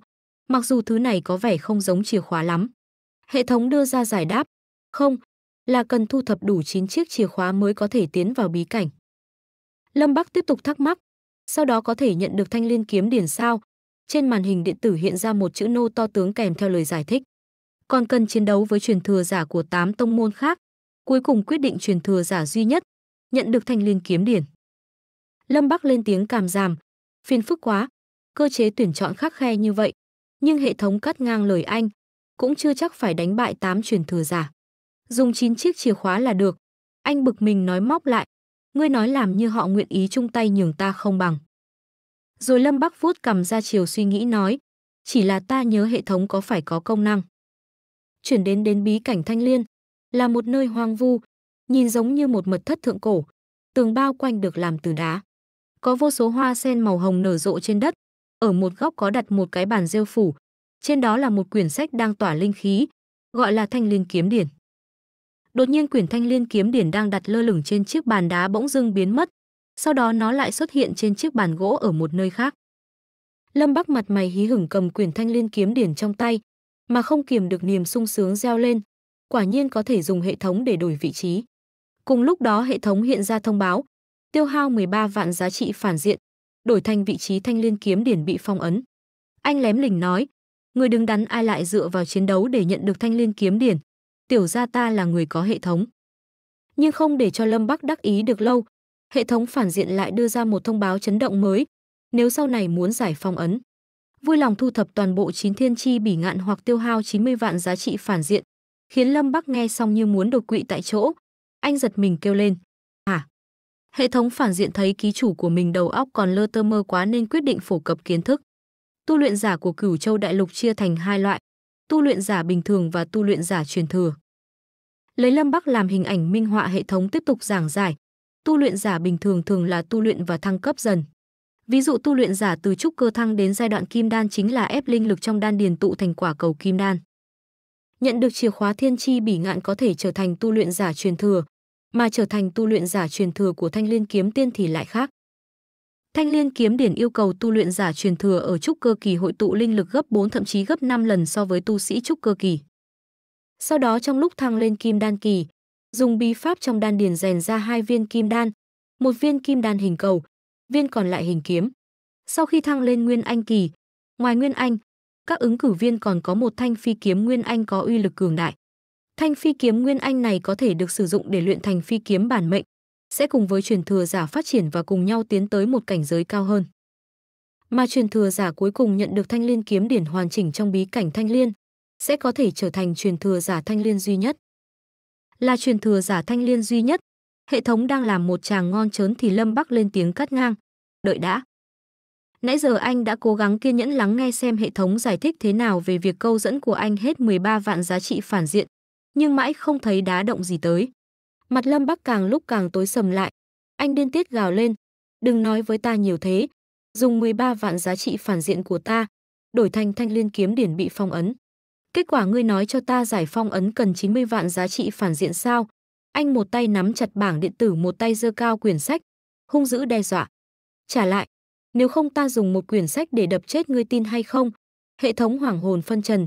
Ký chủ, ngài cũng không hỏi trước mà. Lâm Bắc thở dài bất lực rồi chấn nản bảo, quên đi, nói lý với thổ phỉ làm gì. Những tưởng như vậy là xong, nào ngờ Lâm Bắc lại nổi cơn tam bành ném quyển thanh liên kiếm điển về phía hệ thống. Đồng thời quát lớn, nên dùng một quyển sách đập chết ngươi luôn. Hệ thống vừa tránh né vừa cuống cuồng nói, ký chủ, hãy bình tĩnh. Sau đó là những tiếng đùng ầm loảng xoảng vang vọng trong công pháp các. Một lát sau, Lâm Bắc sau khi xả được cơn giận thì đã bình thường trở lại, anh vuốt cầm đăm chiêu nói, linh lực gấp 4 đến 5, có chút khó à. Cho dù áp chế linh lực của đan điền kiểu gì, người bình thường nhiều nhất cũng chỉ có thể ra thêm gấp đôi linh lực. Nếu cố dung nạp quá nhiều linh lực, đan điền sẽ nổ tung. Anh liếc mắt nhìn cái màn hình đang nằm bẹp dí trên sàn hỏi, cầu hệ thống, ngươi có cách gì không? Màn hình hệ thống vẫn chưa hết kinh hãi, run rẩy tinh thần đáp, ó, ký chủ, có ba cách rồi nó hiển thị ra ba phương thức cho Lâm Bắc lựa chọn. Thứ nhất, có huyết mạch đặc biệt. Thứ hai, tu luyện công pháp đặc biệt. Thứ ba đan dược. Anh tự nhìn nhận bản thân mình rồi bắt đầu đưa ra đánh giá. Ta không có huyết mạch đặc biệt. Tông môn cũng không có công pháp đặc biệt mở rộng đan điền gấp 4 lần. Hơn nữa vừa bị cầu hệ thống hố 13 vạn giá trị phản diện. Bây giờ chỉ còn lại một con đường thôi. Anh vừa dứt lời thì bảng hệ thống dường như hiểu được nhu cầu của khách hàng liền đưa ra một gợi ý, luyện đan thuật bình thường. Giá trị phản diện 2000, giá trị phản diện của Lâm Bắc giờ chỉ còn lại có 5000, nên khi thấy hệ thống lần này đưa ra cái giá 2000 cho công năng luyện đan, anh có hơi ngạc nhiên nói: "Chẳng qua giá thực không phải là 5000 giá trị phản diện, lần này ta khá bất ngờ." Rồi anh đưa tay ấn vào nút đổi trên màn hình, ngay lập tức công năng mới được truyền tải qua người Lâm Bắc. Anh nhìn những luồng khí tức đang chui vào bàn tay mình, cảm thấy có chút an ủi nói, mặc dù cầu hệ thống trả ra gì, nhưng cầu hệ thống cũng thật sự cường đại. Trực tiếp biến mình thành luyện đan sư, hơn nữa hình như còn là cấp 3. Quá trình truyền tải hoàn thành, những luồng khí tức trên tay anh cũng dần tiêu tan.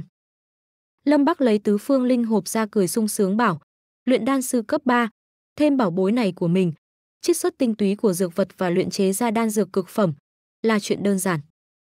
Chuyển cảnh đến phòng luyện đan đang rực sáng.